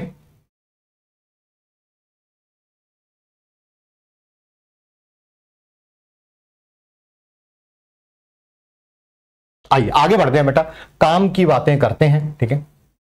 लिक्विड ही सॉल्यूट है, लिक्विड ही सॉल्वेंट है। सर, ये बात हो गई, जब आपने बोला ना शराबी शराब पीते हैं ना? हाँ सर, बिल्कुल। अल्कोहल के अंदर वाटर को डिजोल्व किया जाता है। वही लिखा हुआ एग्ज़ाम्पल भी वही है, शराब वाला ही। इथेनॉल को डिजोल्व किया गया है वाटर के अंदर, ठीक है? नेक्स्ट सॉलिड सॉल्यूट है लिक्विड जो है वो सॉल्वेंट है ग्लूकोज डिजॉल्व इन वाटर जैसे शुगर को डिजॉल्व करेंगे वाटर में, वो भी इसका एग्जांपल है. सॉल्ट को डिजॉल्व करेंगे वाटर में, वो भी इसका एग्जांपल है. ग्लूकोज को डिजॉल्व करेंगे वाटर में, वो भी इसी का एग्जांपल है. ठीक है? एक बच्चा कह रहा है कैंफर का फॉर्मूला नहीं करना है भाई, ठीक है? ऑर्गेनिक में करना, एक क्वेश्चन आया था आज से कुछ साल पहले कैंफर के अंदर. इतने स्टीरियोजेनिक सेंटर है बट मैं ऑर्गेनिक नहीं पढ़ा रहा हूँ, मैं फ़िज़िकल पढ़ा रहा हूँ तो मैं उसी पे कॉन्सेंट्रेट करूँगा। आइए सॉलिड सॉल्यूशन सॉल्यूट अब की बार गैस है सॉल्वेंट अब की बार सॉलिड है। एग्जांपल है solution of hydrogen in palladium hydrogen आपको पता ही है क्या होती है? गैस होती है। और पैलेडियम को कैसे लिखा जाता है? पीडी में, ठीक है? ये एक सॉलिड होता है, ये एक सॉलिड होता है। सॉल्वेंट है, ये सॉल्यूट है। Very very important is this one liquid solute है, सॉलिड सॉल्वेंट है। एग्जांपल है, amalgam of mercury with sodium मैं बताता हूँ, अमलगम लिखा कैसे जाएगा। पहली बात, सर ये अमलगम होता क्या है? ये एलॉय होता है मरकरी का। एच जी कहना है एच जी कह लो एच जी सिंबल है मरकरी का। विद मेटल उसको हम लोग क्या बोलते हैं? अमलगम बोलते हैं, ठीक है? फॉर एग्ज़ाम्पल सर कोई एग्ज़ाम्पल दे दो एग्ज़ाम्पल है। सोडियम अमलगम सर उसको रिप्रेजेंट कैसे किया जाता है? लिखा कैसे जाता है? अमलगम होता क्या है? जब मरकरी का अलॉय है किसी मेटल के साथ। अलॉय तो पता है ना? हाँ सर जब डिफरेंट मेटल्स आपस में मिक्स होते हैं। डिफरेंट मेटल्स आपस में मिक्स होते हैं, ठीक है। एग्ज़ाम्पल है सोडियम अमलगम सर इसको कैसे लिखा जाता है? ऐसे लिखा जाता है। सोडियम और अमलगम बनाना है इसका तो ब्रैकेट में एच जी सर, जिंक का अमलगम कैसे लिखा जाता है? जिंक अमलगम कैसे लिखा जाता है? Zinc amalgam. ये रहा जिंक। ब्रैकेट में क्या लिख दूँगा मैं? एच जी ये हो गया, sir, zinc amalgam. Sir, magnesium का अमलगम कैसे लिखा जाता है? मैग्नीशियम का अमलगम कैसे लिखा जाता है? मैग्नीशियम का सिंबल क्या होता है? सर एम जी तो ब्रैकेट में क्या लिख दूँगा? एच जी ठीक है ये इंपॉर्टेंट है। ये इंपॉर्टेंट है। ये वाला इंपॉर्टेंट लिक्विड एंड सॉलिड ठीक है?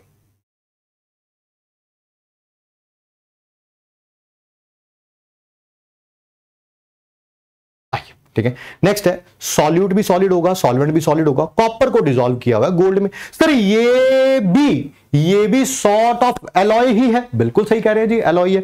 ये भी मेटल है, वो भी मेटल है। दो मेटल्स का मिक्सचर जो होता है, वो क्या कहलाता है? एलॉय कहलाता है।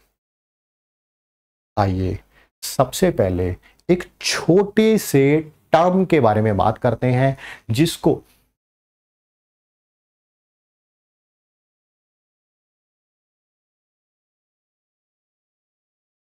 सर, अमलगम को रिपीट कर दीजिए। आइए रिपीट कर देते हैं।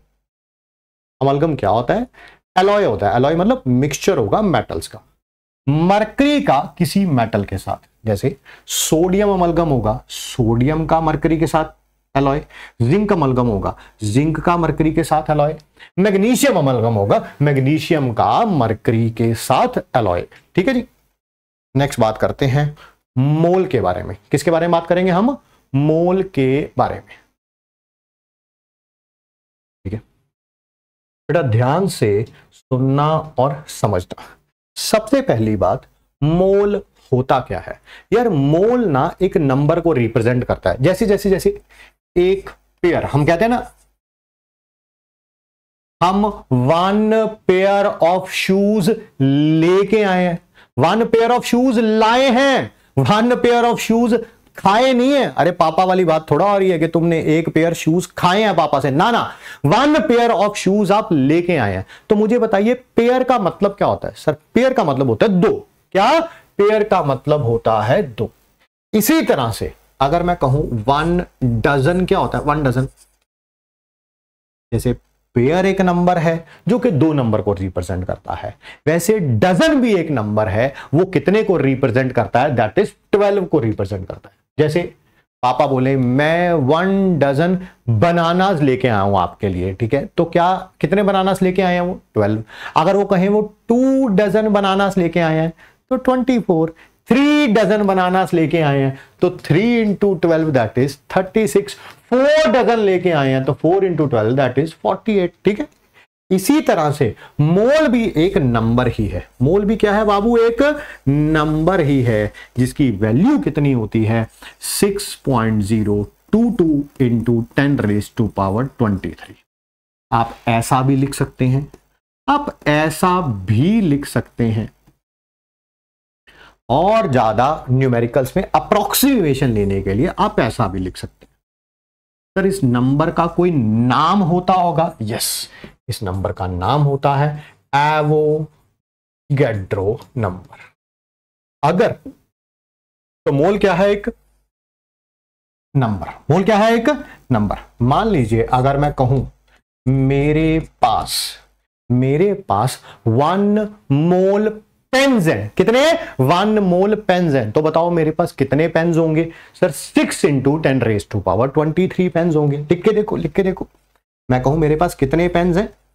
वन मोल पेन्स हैं। तो बताओ मेरे पास कितने पेन्स होंगे? Approximately six into ten raise to power twenty three मैं कहूँ, नहीं नहीं, मेरे पास टू मोल पेन्स हैं। सर, कितने पेन होंगे?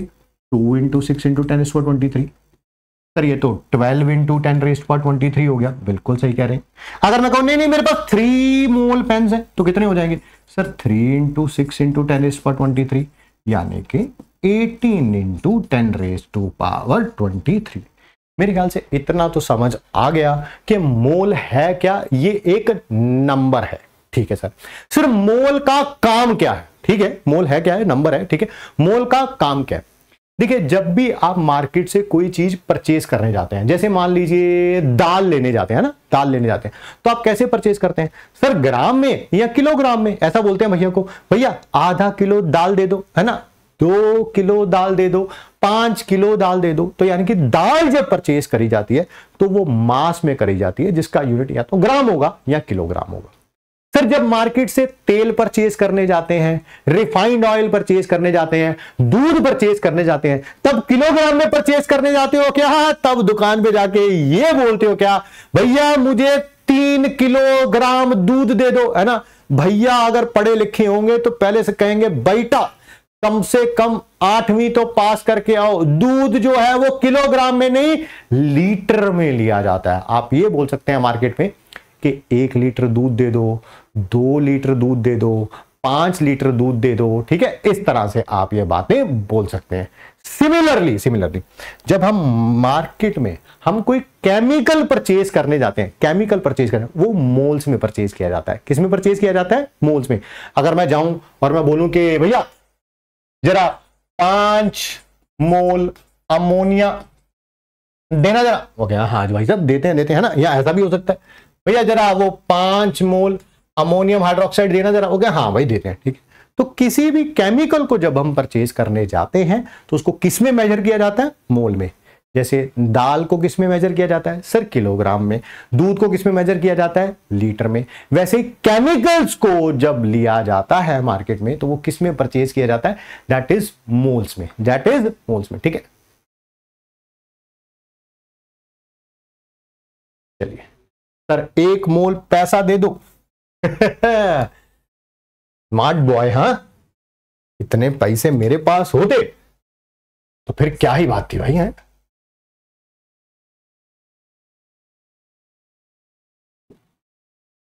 एक मोल तो नहीं दे सकता, एक डजन पैसे ज़रूर दे सकता हूँ।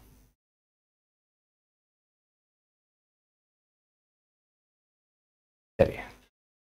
सर, पैलेडियम क्या होता है? बाबू, एक एलिमेंट होता है पैलेडियम, है ना? मुझे तो लग रहा है केमिस्ट्री यहाँ से शुरू करनी पड़ेगी बेटा। गलती हो गई है मेरे को लग रहा है मेरे से। बाबू, ये देखो, इसे बोलते हैं पीरियोडिक टेबल ये बार ग्राफ नहीं है।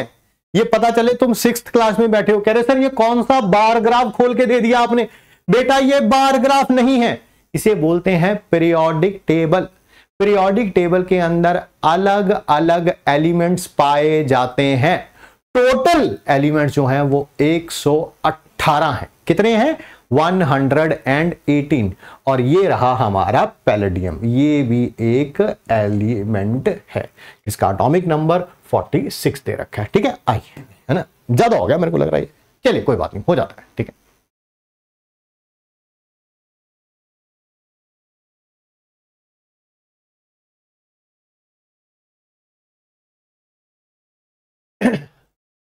ध्यान से सुनिए, समझिए।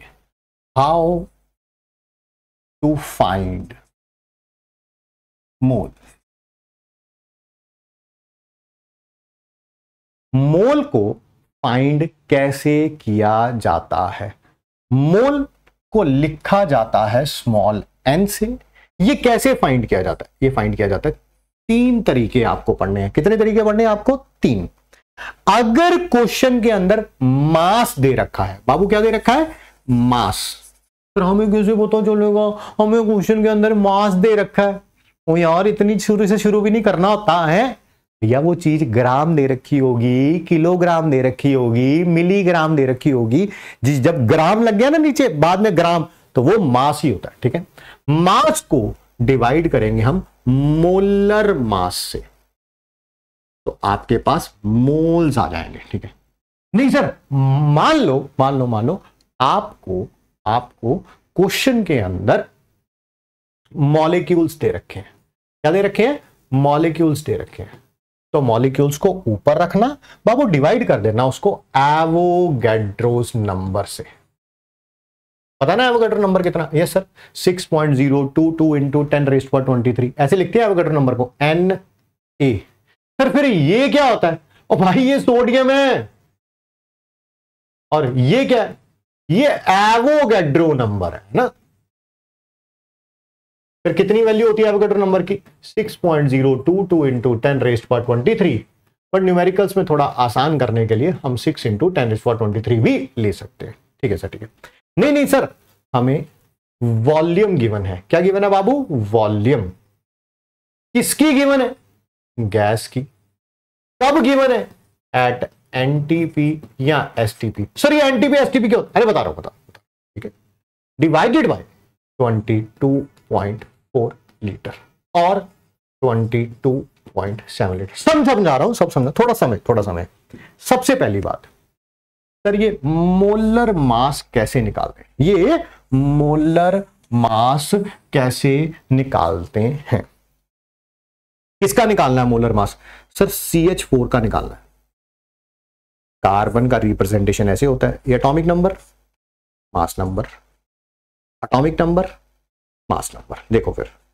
Molar mass of C H four सबसे पहले लिखो एटॉमिक नंबर कार्बन का कितना एटॉमिक नंबर है? ट्वेल्व मल्टीप्लाई करो नंबर ऑफ़ एटम से। कार्बन के कितने एटम्स हैं यहाँ पे? सर, सिर्फ़ एक। फिर प्लस हाइड्रोजन का, रखो ये। Mass number one multiplied by कितने हाइड्रोजन के एटम्स हैं यहाँ पर? फोर ट्वेल्व प्लस फोर कितना होता है? सिक्सटीन ग्राम ये मोलर मास है। क्या आप मुझे मोलर मास निकाल के दिखा सकते हो? H two S O four का। हाइड्रोजन का सिंबल ये होता है। सल्फ़र का सिंबल ये होता है। ऑक्सीजन का सिंबल ये होता है। Molar mass of H S O four निकालो।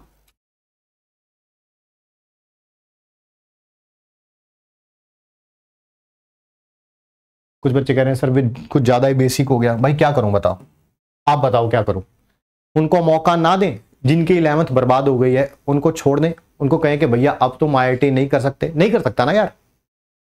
मैं ही हूँ। मैं ही हूँ मुझे सिर्फ़ थोड़े दिन का मौका दीजिए, मुझे थोड़े दिन का मौका दीजिए। एक दो क्लास बीत जाने दीजिए। आप क्लास के अंदर ही जेई मेंस छोड़ो, जेई एडवांस के पीवाई क्यू आप कर रहे होगे। चल छोड़ो, कल की क्लास में कर रहे होगे। छोड़ो, क्या बोला? कल की क्लास में कर रहे होगे।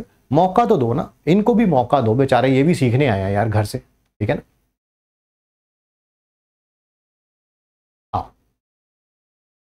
Molar mass of H two S O four hydrogen का अटोमिक मास कितना है? वन इन टू कितने एटम्स हैं? दो प्लस सल्फ़र का कितना है? 32 two into number of atoms one oxygen का कितना है? 16 इंटू नंबर ऑफ़ एटम्स तो ये ऐड करेंगे तो 98 ग्राम मेरे ख्याल से मोलर मास निकालना आ गया है।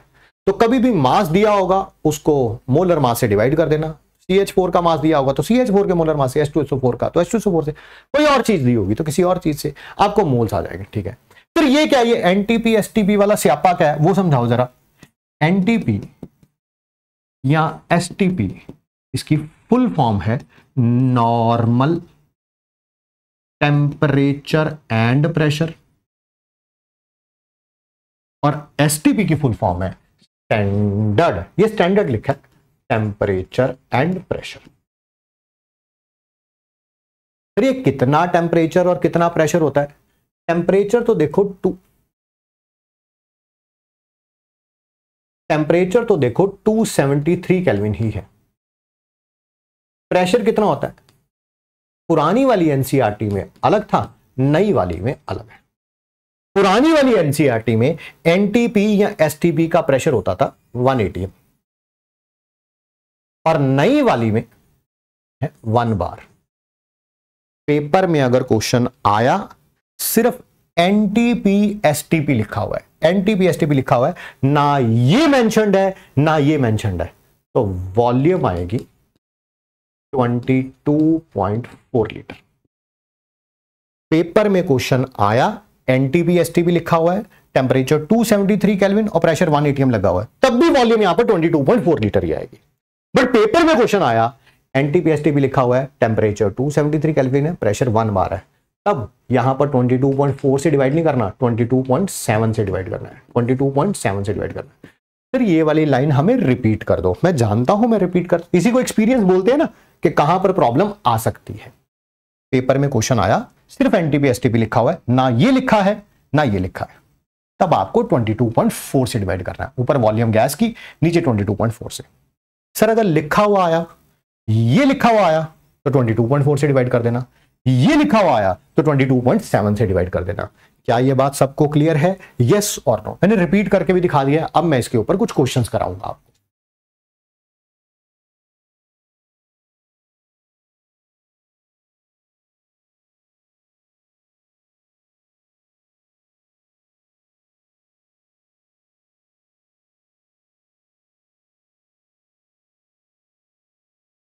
ठीक है जी? Find number of moles in 64 gram of methane 24 four into ten raised for twenty three molecules of CO two gas या CO two and third 67.2 liter of CO gas at NTP एक और।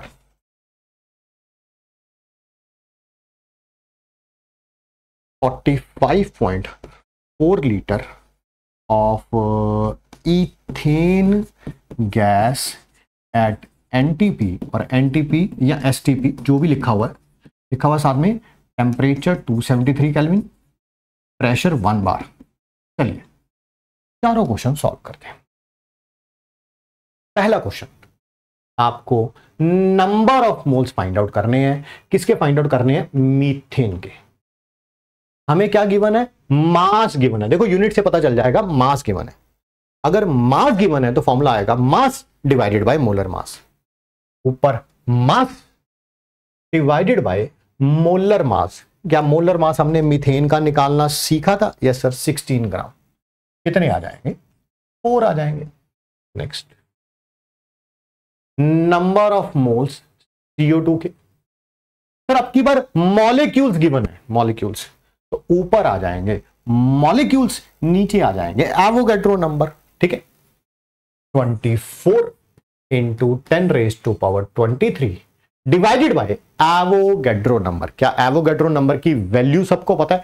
Yes sir 6.022 होती है but numericals में solve करने के लिए हम 6 into ten raised twenty three भी रख सकते हैं। ये कैंसल आउट हो जाएगा? यस ये सिक्स के टेबल में फोर पे जाएगा? यस नेक्स्ट आपकी बार आपको मोल्स फाइंड आउट करने वॉल्यूम दे रखी है ना? वॉल्यूम का यूनिट होता है लीटर। वॉल्यूम दे रखी है कार्बन मोनोऑक्साइड गैस की। एट एन टी पी कहाँ पे दे रखी है? एट एन टी पी दे ही नहीं रखा। एन टी पी कौन से वाला? या N T P S T P भी लिखा हो सकता है, कोई बहुत बड़ी बात नहीं।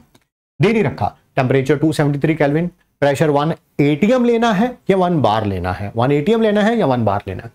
तब नंबर ऑफ़ मोल्स कैसे निकालेंगे? ऊपर वॉल्यूम गैस की एनटीपी डिवाइडेड बाय 22.4 लीटर या 22.7 सर, ये रखूँगा या ये रखूँगा? जब कुछ भी मेंशन नहीं है तो 22.4 रखेंगे। जब कुछ भी मेंशन नहीं है तो 22.4 रखेंगे। 22.4 रखेंगे। सर कैंसल आउट हो जाएगा ये? यस 224 के टेबल में सीधा 672 3 पे आ जाता है। सर नेक्स्ट भी वॉल्यूम ही दे रखी है गैस की ही दे रखी है। बट आपकी बार मेंशन है। Temperature 273 kelvin pressure one bar temperature 273 kelvin और प्रेशर वन बार तो ऊपर वॉल्यूम जब प्रेशर वन बार होगा प्रेशर वन बार होगा तो डिवाइड किससे करना है? 22.7 से. डिवाइड किससे करना है? 22.7 से. सर पॉइंट से पॉइंट क्या हो जाएगा? कैंसल आउट हो जाएगा. 227 के टेबल पे ये टू पे चला जाएगा. क्या ये सबको क्लियर है? क्या ये सबको क्लियर है?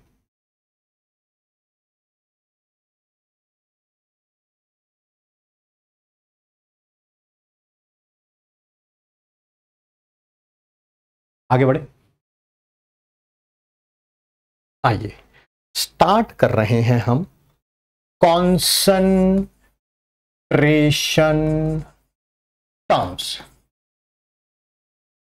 कई तरह की कॉन्सेंट्रेशन हमें पढ़नी है। कॉन्सेंट्रेशन का मतलब क्या है? मार्केट में केमिकल कैसे मिलता है? कई बॉटल्स मिलेंगी केमिकल की। मोलैरिटी में कोई कोई मोल फ्रैक्शन में, कई मोलालिटी में, उन सबको हमें पढ़ना है। उन सबको हमें पढ़ना है। ध्यान से देखना। सॉल्यूशन किन दो चीज़ों से मिलके बना होगा? पर अभी अभी आपने बताया था सॉल्वेंट और सॉल्यूट सर सॉल्वेंट को किससे लिखेंगे? थ्रू आउट द चैप्टर जहाँ पर भी मैं ए लिखूँगा, समझ लेना मैं सॉल्वेंट की बात कर रहा हूँ। जहाँ मैं बी लिखूँगा, समझ लेना, मैं सॉल्यूट की बात कर रहा हूँ। अच्छा मुझे जल्दी जल्दी बताओ, ये क्या फिर? ये क्या ये क्या ये क्या सर डब्ल्यू का मतलब होता है मास या वेट केमिस्ट्री में मास और वेट दोनों सेम होते हैं। केमिस्ट्री में मास और वेट दोनों सेम होते हैं। तो ये है, मास कहना है, मास कह लो वेट कहना है वेट कह लो। किसका? सर सॉल्वेंट का। क्योंकि ए लिखा हुआ है ना। ए लिखा हुआ है ना। ठीक है, सर। सर, अगर एम लिखा हो सॉरी एम का मतलब है मोलर मास सबस्क्रिप्ट में क्या लिखा हुआ है? ए तो सर, ये सॉल्वेंट के बारे में बात हो रही है। अच्छा कहीं ऐसा लिखा हो? एन एन तो मोल्स होते हैं। ए अच्छा तो ये मोल्स है सॉल्वेंट के। किसके? सॉल्वेंट के। क्या मोल्स ऑफ़ सॉल्वेंट का फॉर्मूला क्लियर हो गया? ऊपर मास नीचे मोलर मास। देख लो, चाहे देख लो। ये थे ना, मोल्स निकाले होना ऊपर मास, नीचे मोलर मास, ऊपर मैंने मास रखा, सॉल्वेंट का, नीचे मोलर मास भी रखा, सॉल्वेंट का तो मोल्स भी किसके आएँगे? सॉल्वेंट के। ठीक है, सर। फिर ये बताओ क्या, ये क्या डब्ल्यू बी सर डब्ल्यू का मतलब वही है केमिस्ट्री में मास कह लो या वेट कह लो। किसका? फिर बी का। बी मतलब सॉल्यूट की बात हो रही है। अगर कहीं ऐसे लिखा हो एम बी। तो सर ये एम का मतलब होता है मोलर मास बी लिखा हुआ है तो किसका मोलर मास है ये? सॉल्यू ठीक है?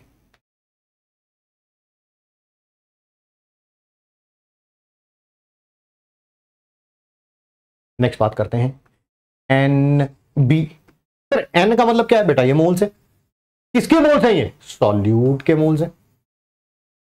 ट is W B by M B वही mass of solute divided by molar mass of solute ये छोटी छोटी टर्म्स हैं जो आपको पता होनी चाहिए, ठीक है?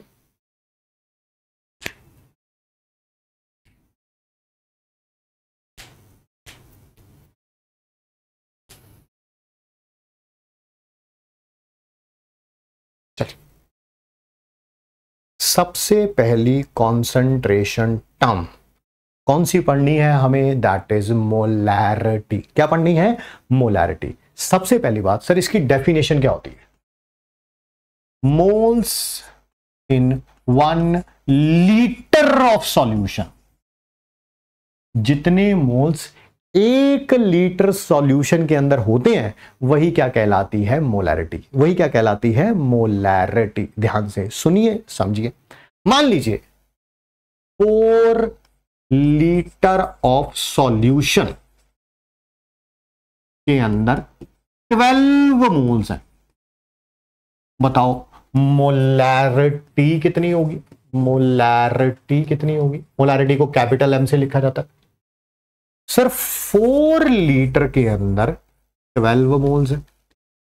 बताओ, एक लीटर के अंदर कितने होंगे? एक लीटर के अंदर। Sir, twelve divided by four ये आ जाएगा थ्री सर, यही मोलारिटी है।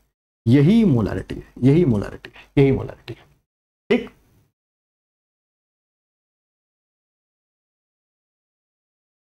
आइए, मेरे साथ पार्टिसिपेट करिए। मैं यहाँ पर मोल्स लिख रहा हूँ सॉल्यूट के वॉल्यूम ऑफ़ सॉल्यूशन लिख रहा हूँ। आप मुझे उसकी मोलारिटी बताइए। मोलारिटी है क्या? कितने मोल्स होंगे एक लीटर में? चार लीटर के अंदर। ट्वेल्व मोल्स हैं।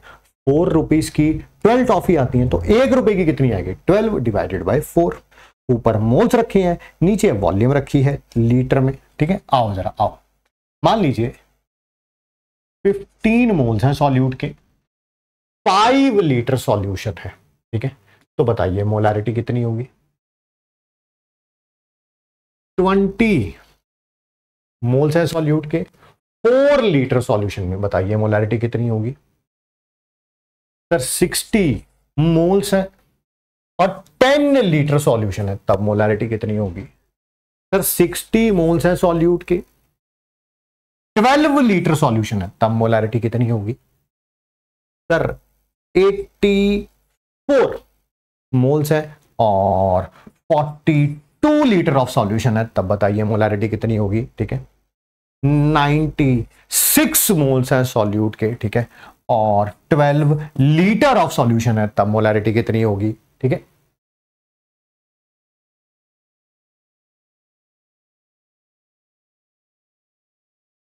वन हंड्रेड फाइव मोल्स हैं thirty five litre of solution है तब मोलैरिटी कितनी होगी ठीक है?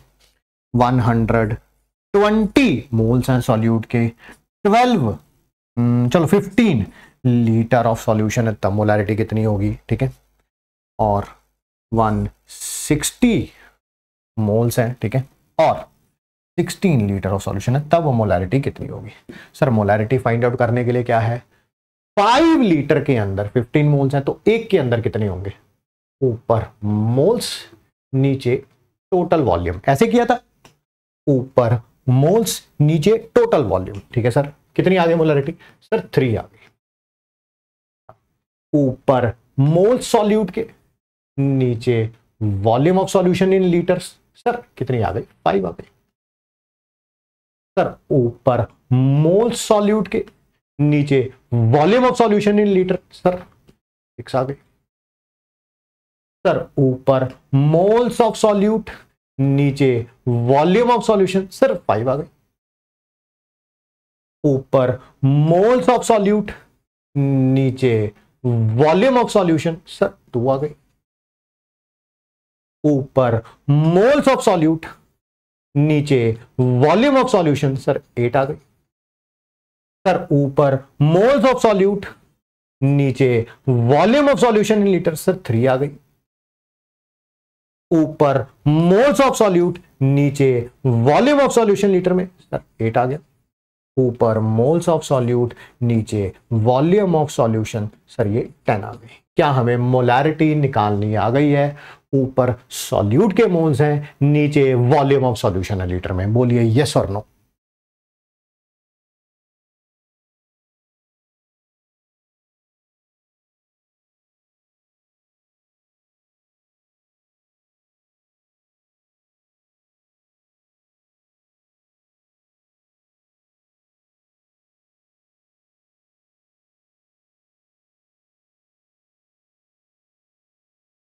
चलिए जी, सबको समझ आ गया है, बहुत अच्छी बात है, ऐसा करते हैं।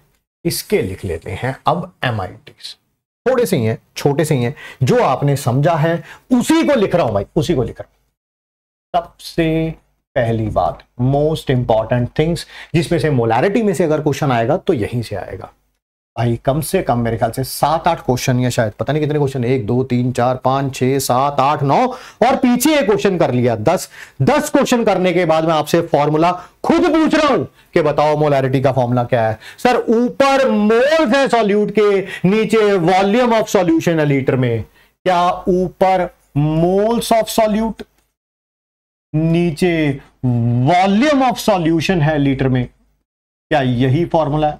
फॉर्मूला अपने आप आपने डिराइव कर लिया, मुझे कुछ करना ही नहीं पड़ा।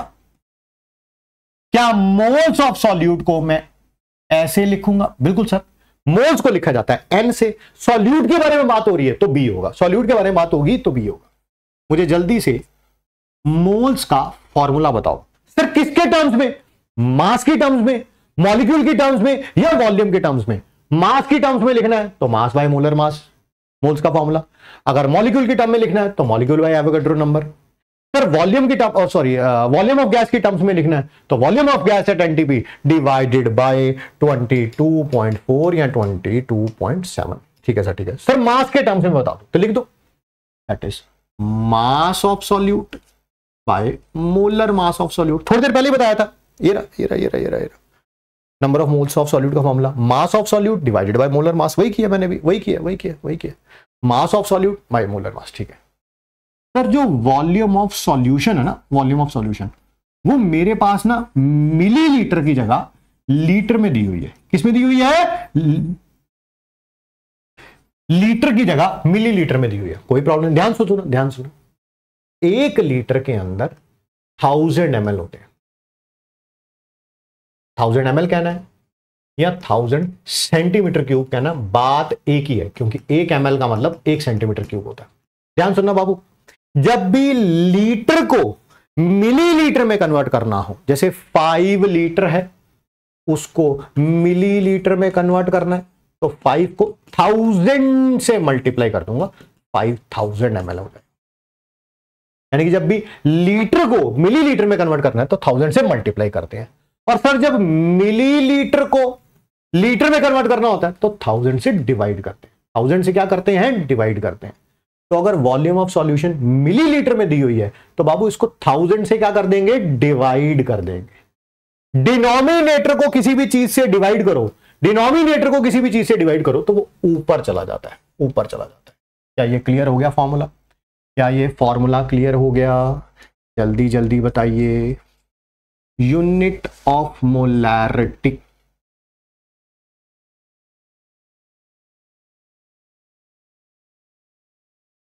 सारे बच्चे कह रहे हैं, सर, कि ये काफ़ी बेसिक हो गया। बेटा, आप पढ़ा लो, फिर मैं पढ़ लेता हूँ। यही कर सकते हैं, मैं तो ज़्यादा से ज़्यादा यही कर सकता हूँ, बेटा। ठीक है? बच्चे कह रहे हैं, सर, आज भी वॉचिंग हो गई है fifty two fifty three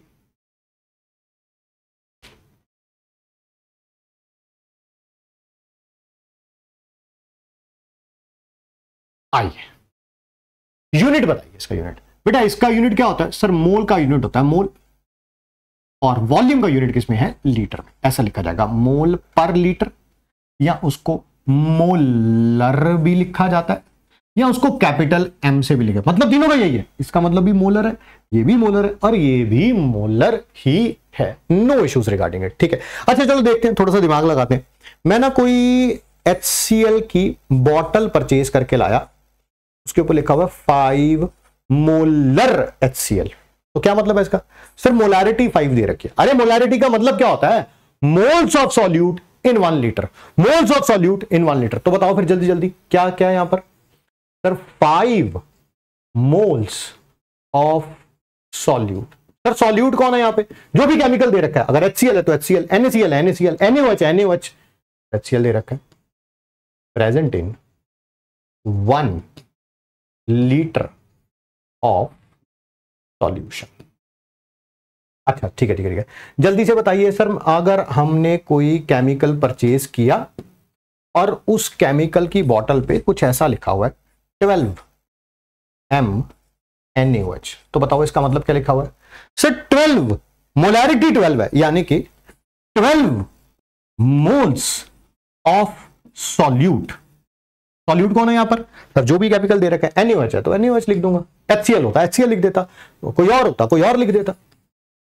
Present in one litre of solution अगर मोलैरिटी में से कोई क्वेश्चन आएगा तो वो यहीं से आएगा। सिर्फ़ इतना सा हिस्सा ही एमआईटी है। ये भी मैंने दस क्वेश्चन यहाँ पर प्रैक्टिस करा दिए हैं। अब और क्वेश्चंस करेंगे questions questions and questions and मुझे पूरी उम्मीद है आप लोगों का फेस कुछ ऐसा ही दिखने वाला है इस क्वेश्चन को सॉल्व करने के बाद। ठीक है?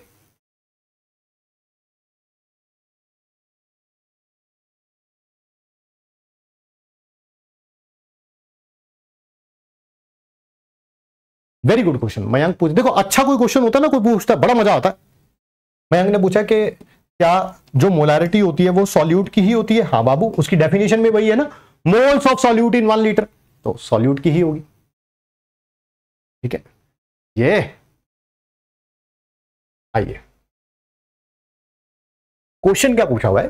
Calculate the molarity of NH molarity NH की निकालनी है। वही सॉल्यूट की निकालनी है। अभी अभी मयंक ने पूछा भी well done Mayank for the good question in the solution prepared by dissolving 4 gram in enough water to make 250 ml of solution. अच्छा। जो भी केमिकल दिया होता है बाबू वो क्या होता है? सॉल्यूट होता है। सॉल्यूट को किसे डिनोट करते हैं? बी से। कितना दे रखा है वो? कितना दे रखा है? सर फोर ग्राम डिजोल्व किया हुआ है। सॉल्यूट का मास फोर ग्राम है। Volume of solution two fifty M दे रखी है। टू फिफ्टी एम दे रखी है। मोलर मास भी दे रखा है सॉल्यूट का।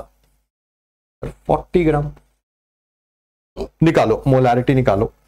पर मोलारिटी का फॉर्मूला क्या था? ऊपर डब्ल्यू बी नीचे एम बी सर मोल्स आ गए मोल्स बिल्कुल सही कह रहे हैं। Divided by volume of solution millilitre में। बेटा, अगर मिलीलीटर होगा तो ऊपर थाउज़ेंड आएगा। मिलीलीटर नहीं होगा तो ऊपर थाउज़ेंड नहीं आएगा। ये मिलीलीटर में है तो ऊपर थाउज़ेंड आएगा।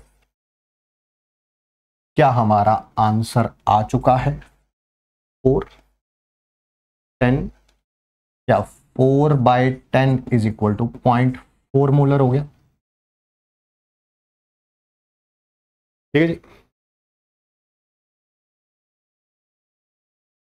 बहुत बढ़िया जी, अगर हलवा लग रहा है अच्छा लग रहा है, आसान लग रहा है तो अच्छी बात ही है ना।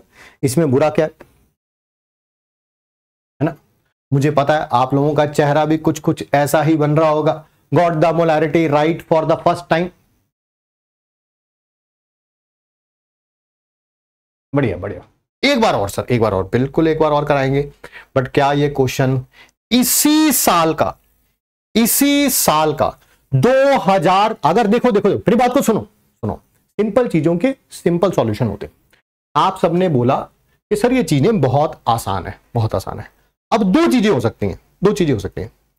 या तो मैं इरेलीवेंट पढ़ा रहा हूँ, या मैं रेलेवेंट पढ़ा रहा हूँ। रेलेवेंसी का कैसे पता चलेगा? सर, अगर ये एग्ज़ाम में क्वेश्चंस आ रहे हैं ऐसे तो आप रेलेवेंट पढ़ा रहे हो। अगर एग्ज़ाम में ऐसे क्वेश्चन नहीं आ रहे हैं तो आप इरेलीवेंट पढ़ा रहे हो। सिंपल सिंपल तो आइए दूर नहीं जाते हैं, इसी साल की बात करते हैं, इसी साल की बात करते हैं। 2024 में सिर्फ़ एक से डेढ़ महीना पहले जो क्वेश्चन आया है, क्या वो देखते हैं, क्या वो आप सॉल्व कर पाते हैं या नहीं कर पाते हैं? ठीक है। एक डेसीमीटर क्यूब का मतलब होता है एक लीटर, करो भाई करो। इसी साल 27 जनवरी को सेकेंड शिफ्ट में जेई मेंस में ये क्वेश्चन आया है। आप देखते हैं सॉल्व कर पाते हैं कि नहीं। Volume of three molar NH molarity दे रखी है थ्री मोलर फॉर्मूला वेट ये मोलर मास ही है। ये मोलर मास ही है। एनएच का molar mass 40 gram which can be prepared from 84 gram of NH NH जो कि जो भी केमिकल होता है, वो सॉल्यूट होता है, उसका मास दे रखा है।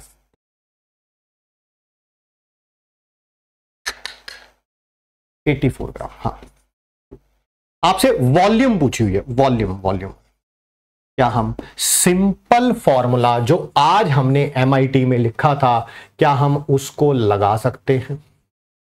वॉल्यूम अगर लीटर में है तो ऊपर थाउज़ेंड नहीं आएगा, लीटर में नहीं है तो थाउज़ेंड आएगा। हमें लीटर में निकालनी है। आओ आओ। मोलारिटी सर थ्री दे रखी है। डब्ल्यू बी सर फोर्टी दे रखा है। Sorry W B eighty four है। एम बी सर फोर्टी दे रखा है। वॉल्यूम आपको निकालनी है। आइए। वॉल्यूम कितनी हो जाएगी? सर क्रॉस मल्टीप्लाई कर लो। वॉल्यूम उधर चली गई। यहाँ आ गया 84 डिवाइडेड बाय 40 इंटू थ्री ठीक है बेटा क्रॉस मल्टीप्लाई करना आता है। सर, ये थ्री के टेबल में ये 28 पे चला जाएगा। बिल्कुल सही। सर, ये फोर के टेबल में, किस पे? फोर के टेबल में। ये सेवन पे, ये टेन पे। सर सेवन बाय टेन हो गया। क्या इसको सेवन इंटू टेन रेस्ट पर माइनस वन लिख सकते हैं? यस क्या आ गया आंसर क्या आंसर आ गया? इसको एक्स लिख देता हूँ। क्या? X X into ten raise to power minus one X कितना आ गया? सेवन आंसर क्या है? सेवन इसी साल का क्वेश्चन है, इसी साल का क्वेश्चन है, इसी साल आया है। कोई पुरानी बात नहीं कर रहा, कोई के, ओहो तो बड़े पुराने जमाने में आता था, ऐसा है नहीं भाई। Seven Thala for a reason sir, नीचे 250 क्यों लिया? पिछले क्वेश्चन की बात कर रहे हो। बाबू, कैसी बातें कर रहे हो, है ना? आप अभी आए हो। वॉल्यूम ऑफ़ सॉल्यूशन अगर मिलीलीटर में है तो ऊपर थाउज़ेंड आएगा। वॉल्यूम ऑफ़ सॉल्यूशन मिलीलीटर में ये तो टू फिफ्टी नीचे रख लिया। ऐसे मत करो, या अभी आए हो या थोड़े से स्लो हो। कोई बात नहीं, कोई बात नहीं। एक और क्वेश्चन करोगे? एक और क्वेश्चन करोगे? सिर्फ़ और सिर्फ़ दो तीन साल पहले आया हुआ क्वेश्चन है। अच्छा क्वेश्चन है, आपके सामने है, आपको आसान लग रहा है। तो इसका मतलब आप इंटेलिजेंट है। है सर? ऐसा भी आ गया ऐसा भी आ गया तो मतलब कि ऐसा मुझे लग रहा है कि अगर आपको समझ आ रहा है तो इंटेलिजेंट तो बोलना ही पड़ेगा आपको। चलिए, बढ़िया बढ़िया बढ़िया, आइए। आराम आराम से करते हैं, आराम आराम से। कोई जल्दी नहीं। मोलैरिटी ऑफ़ सॉल्यूशन मोलैरिटी बतानी है सॉल्यूशन की। प्रिपेयर्ड बाय डिजोल्विंग जब डिजोल्व किया जा रहा है 6.3 gram of oxalic acid formula दे रखा है। कितनी बार बोलूँ, जो भी केमिकल दिया होगा, वो सॉल्यूट होगा, उसको बी से लिखा जाएगा। मास कितना दे रखा है सॉल्यूट का? सर 6.3 ग्राम, ठीक है। In 250 fifty M L of water volume of water solution ही होगा बेसिकली डायल्यूट सॉल्यूशन है। डायल्यूट वो होता है, जब सॉल्यूट बहुत कम हो सॉल्यूट बहुत कम हो, ठीक है। Is X into ten minus T two आपको एक्स निकालना है। फिर भाई, पहले मोलर मास निकाल लो अब ये मत कहना मोलर मास कैसे निकालूँगा? आज ही सिखाया है हमने। बताओ भाई, सबसे पहले हाइड्रोजन का मास वन दे रखा है इनटू कितने हाइड्रोजन है यहाँ पे? सर, दो यहाँ पे, चार यहाँ पे। सर, चार कैसे हो गए? अबे एक एच टू ओ में दो हाइड्रोजन होते हैं तो दो एच टू ओ में कितने होंगे? चार। चार यहाँ पे, दो यहाँ पे। छ प्लस ऑक्स कार्बन का ट्वेल्व है फोर है ट्वेल्व इंटू कितने कार्बन है यहाँ पे? दो यहाँ पे। Sir twelve into two plus oxygen sir, चार ऑक्सीजन यहाँ है। दो ऑक्सीजन यहाँ छह हो गए। सर, छह इंटू सोलह। सोलह। सर ये वन ट्वेंटी आएगा मेरे ख्याल से। नाइनटी सिक्स और ट्वेंटी फोर नाइनटी सिक्स और 24 कितना आता है? 120 120 और 6 126 आता है। क्या हम मोलैरिटी निकाल सकते हैं? मोलैरिटी और फिर वही फॉर्मूला वही था। ऊपर डब्ल्यू बी नीचे एम बी ऊपर डब्ल्यू बी नीचे M B volume of solution अगर एम में है तो ऊपर थाउज़ेंड आएगा। एम में है, ऊपर थाउज़ेंड आएगा।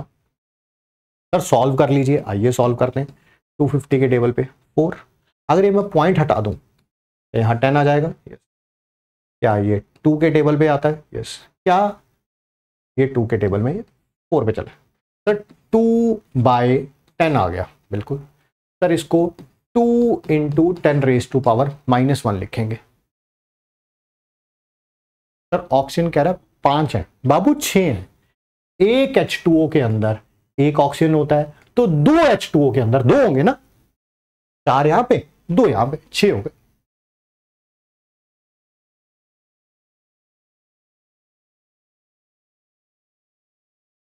हम्म, आइए। जल्दी से बताइए मोलारिटी कितनी दे रखी है? मोलारिटी दे रखी है। एक्स इंटू टेन रेस्ट पर माइनस टू आई कितनी है? टू इंटू टेन रेस्ट पर माइनस वन सर, इसको ऐसे लिख लो ना। ट्वेंटी इंटू टेन रेस्ट पर माइनस टू बिल्कुल सही कह रहे हैं। क्या एक्स आ गया ट्वेंटी क्या एक्स आ गया ट्वेंटी अब ये मत कहना कि आपने आपने इसको ऐसे कैसे लिख दिया? भाई, मैंने टेन से क्या कर दिया? मल्टीप्लाई टेन से क्या कर दिया? डिवाइड जो डिवाइड किया है यहाँ आ गया, जो मल्टीप्लाई किया है, वो यहाँ आ गया, ठीक है? बढ़िया जी, बढ़िया बढ़िया।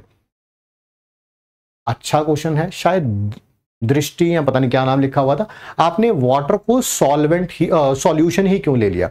जब सॉल्यूशन डाइल्यूट होता है, दोबारा बोलूँ, जब सॉल्यूशन डाइल्यूट होता है तो सॉल्वेंट की और सॉल्यूशन की वॉल्यूम सेम होती है। सर डाइल्यूट क्या होता है? जब सॉल्यूट बहुत कम सॉल्यूट सर, मुझे समझ नहीं आया, मैं समझाता हूँ। आपकी वाटर टैंक होता है, घर पे वाटर टैंक होता है, छत पे। हाँ सर, होता है। उसका ढक्कन किसी दिन खुला रह गया, ठीक?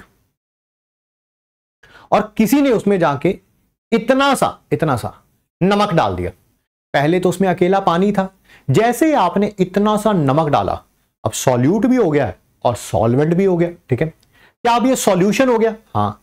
क्या अब नल खोल के देखोगे तो नमक वाला पानी आएगा क्या?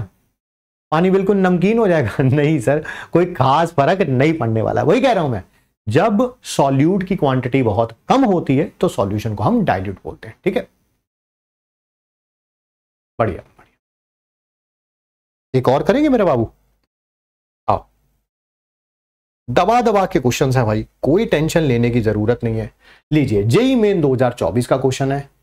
6.02 point zero two into ten S twenty molecules of urea hundred M में प्रेजेंट है।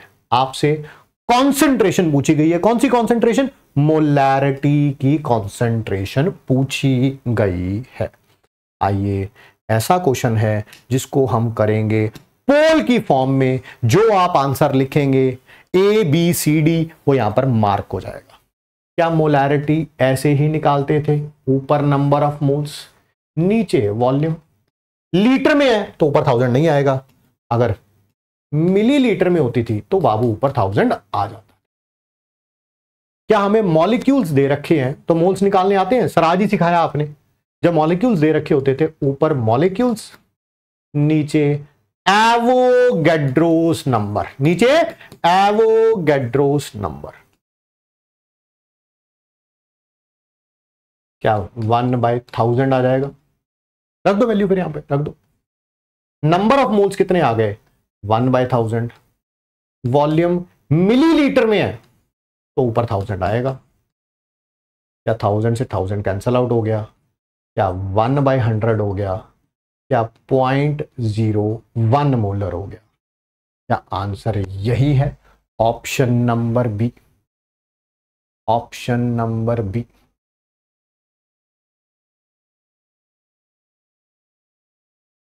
ये भी पी वाई क्यू था?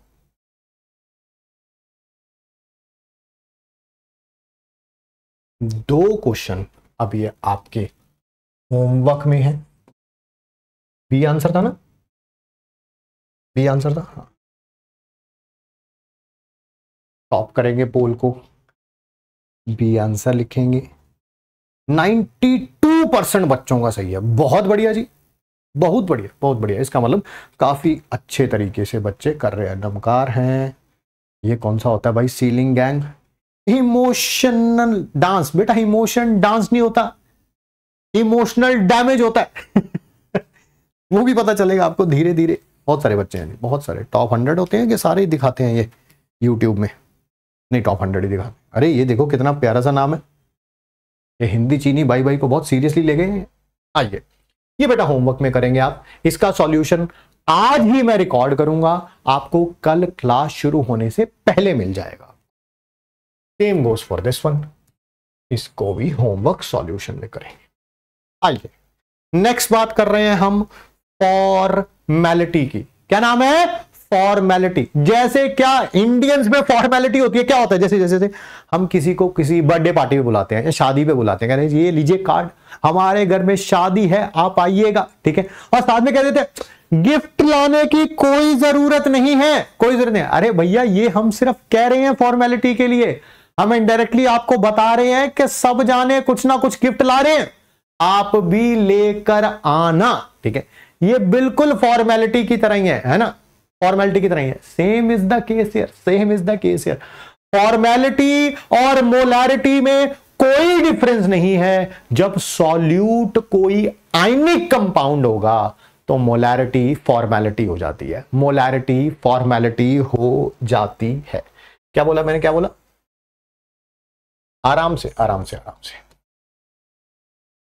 जब सॉल्यूट जो होगा, वो कोई आइनिक कंपाउंड होगा। Ionic compound.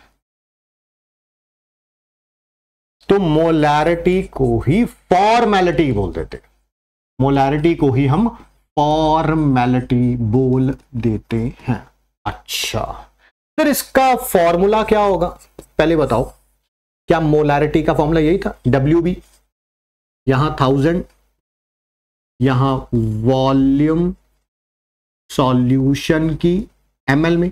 फिर भाई एमएल होता था थाउज़ेंड आता था लीटर होता था तो थाउज़ेंड में आता था। फिर यहाँ पर क्या आता था? यहाँ पर एम बी आता था। देख लो, यही फॉर्मूला है ना, यही फॉर्मूला कोई नया तो नहीं है? कोई कह दो, ओहो, ये तो नया फॉर्मूला करा दिया आपने। ये तो मुझे पता है। यही है। देखो W B thousand volume of solution ML में। यहाँ मोलर मास की जगह एम बी की जगह एम बी की जगह, यहाँ पर एफ़ बी आ जाएगा। सर फेसबुक कहाँ से आ गया? बेटा, ये फेसबुक नहीं है, ये फॉर्मूला मास है सॉल्यूट का। फॉर्मूला मास है। सर, आपने एम बी निकालना मोलर मास निकालना सिखाया है। फॉर्मूला मास कैसे निकलेगा? भाई शेम टू शेम है। जैसे मोलर मास निकालते थे, वैसे ही फॉर्मूला मास निकालते हैं। ये फॉर्मेलिटी ही है। ये फॉर्मेलिटी ही है, ये मोलैरिटी ही है, कोई फ़र्क नहीं है दोनों में।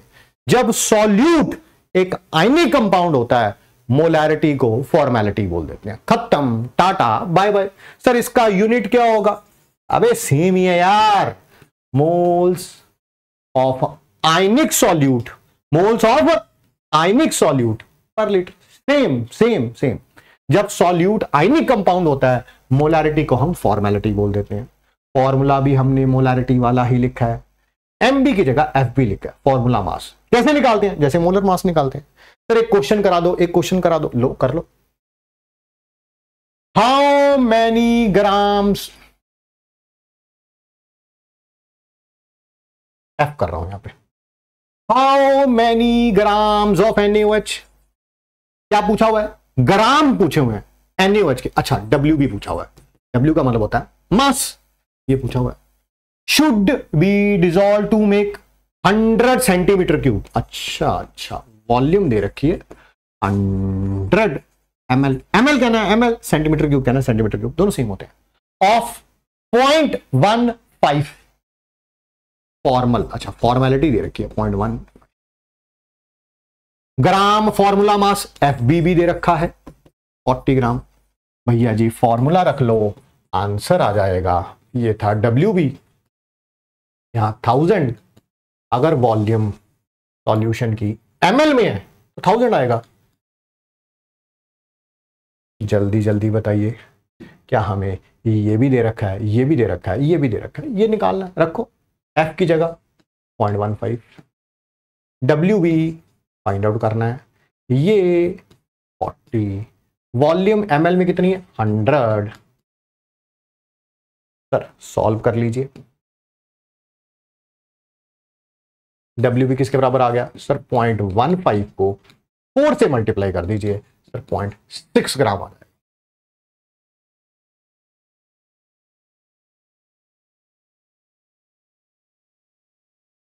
टाइम हो गया जी टाइम हो गया। बढ़िया बढ़िया बढ़िया।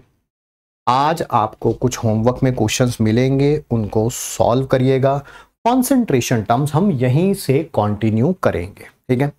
एक बात का ध्यान रखिए दैट इज़ नॉट टुडे दुनिया इधर की उधर हो जाए, हम कोई भी बैकलॉग क्रिएट नहीं होने देंगे, नहीं होने देंगे, नहीं होने देंगे, ठीक है?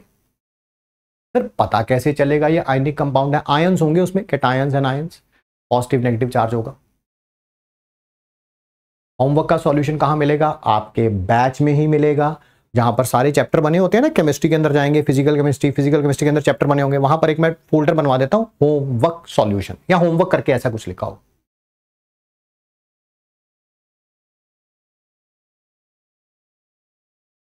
चलिए। आज, है ना, पहली बार कुछ ऐसी बात करते हैं जो मैंने भी आज तक कभी नहीं किया। होता क्या है, सारी जिम्मेवारी जो बैकलॉग की है, वो सारी की सारी स्टूडेंट्स के ऊपर डाल दी जाती है। सारी की सारी स्टूडेंट्स के ऊपर डाल दी जाती है। आप चार पाँच दिन क्लास नहीं लेंगे, उसके बाद कभी क्लास लेने आएँगे, आपको समझ नहीं आएगा क्यों ऑब्वियसली चार पाँच दिन का गैप हो गया। फिर मैं कह दूँगा, अरे यार, तुमने क्लास नहीं ली, तुमने क्लास नहीं ली, तुमने क्लास नहीं ली। तो टीचर की अकाउंटेबिलिटी कहाँ पे है? सर, जब आप छुट्टी करते हो, तब क्या होता है? हम जब छुट्टी करते हैं, हमें तो ऑब्वियसली डांट मिलती है। हमें तो कोई चीज़ समझ नहीं आती है। हमें तो परेशानी होती है। बट आपका क्या? आप तो छुट्टी भी कर लोगे। उससे अगले दिन आ भी जाओगे। जहाँ से शुरू करना दोबारा वहाँ से शुरू कर दोगे। तो चलिए, ऐसा करते हैं जो हमने आज तक कभी किसी बैच में नहीं किया। मैं इट्स ए टफ कॉल कहना बहुत आसान है, करना बहुत मुश्किल है, ठीक है? मैं कोशिश करूँगा अपनी हंड्रेड परसेंट कोशिश करूँगा कि आपके बैच में जब तक आपका फ़िज़िकल केमिस्ट्री फिनिश नहीं हो जाता, मैं एक भी दिन छुट्टी ना करूँ। ताकि सबसे पहले तो ये मेरे लिए अप्लाई होना चाहिए, नॉट टुडे ठीक है? एंड फिर आपके लिए अप्लाई होगा है ना? इससे पता चलेगा वाकई टीचर भी कितना कमिटेड है है ना? नहीं तो सारी बात तो स्टूडेंट के ऊपर डाल दी जाती है। तू नहीं पढ़ता तू नहीं करता तुम ये नहीं करते। तो देखते हैं कि ये बात पे मैं भी टिका रहता हूँ या नहीं टिका रहता हूँ ठीक है? ये टफ कॉल है बिकॉज़ आई मीन किसी भी दिन छुट्टी ना होना ये बहुत बड़ी बात हो जाएगी मतलब कि टफ mm, कॉल है। ऐसा करना बहुत मुश्किल है। But let's see let's try है ना? Let's give our best shot ठीक है?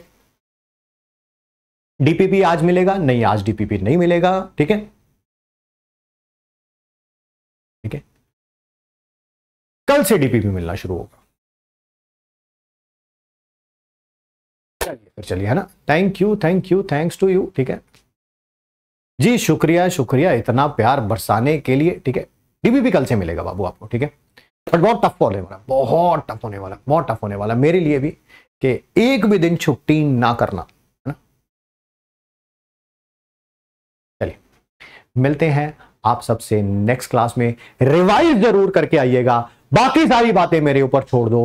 होमवर्क सॉल्यूशन भी आप आज आज आपको मिलेगा ही मिलेगा, ठीक है? दैट इज़ इन बैच में जाएँगे। होमवर्क सॉल्यूशन का एक वो टैब बना होगा। कल तक आपको क्लास से पहले होमवर्क सॉल्यूशन वहाँ पर मिल जाएगा, ठीक है?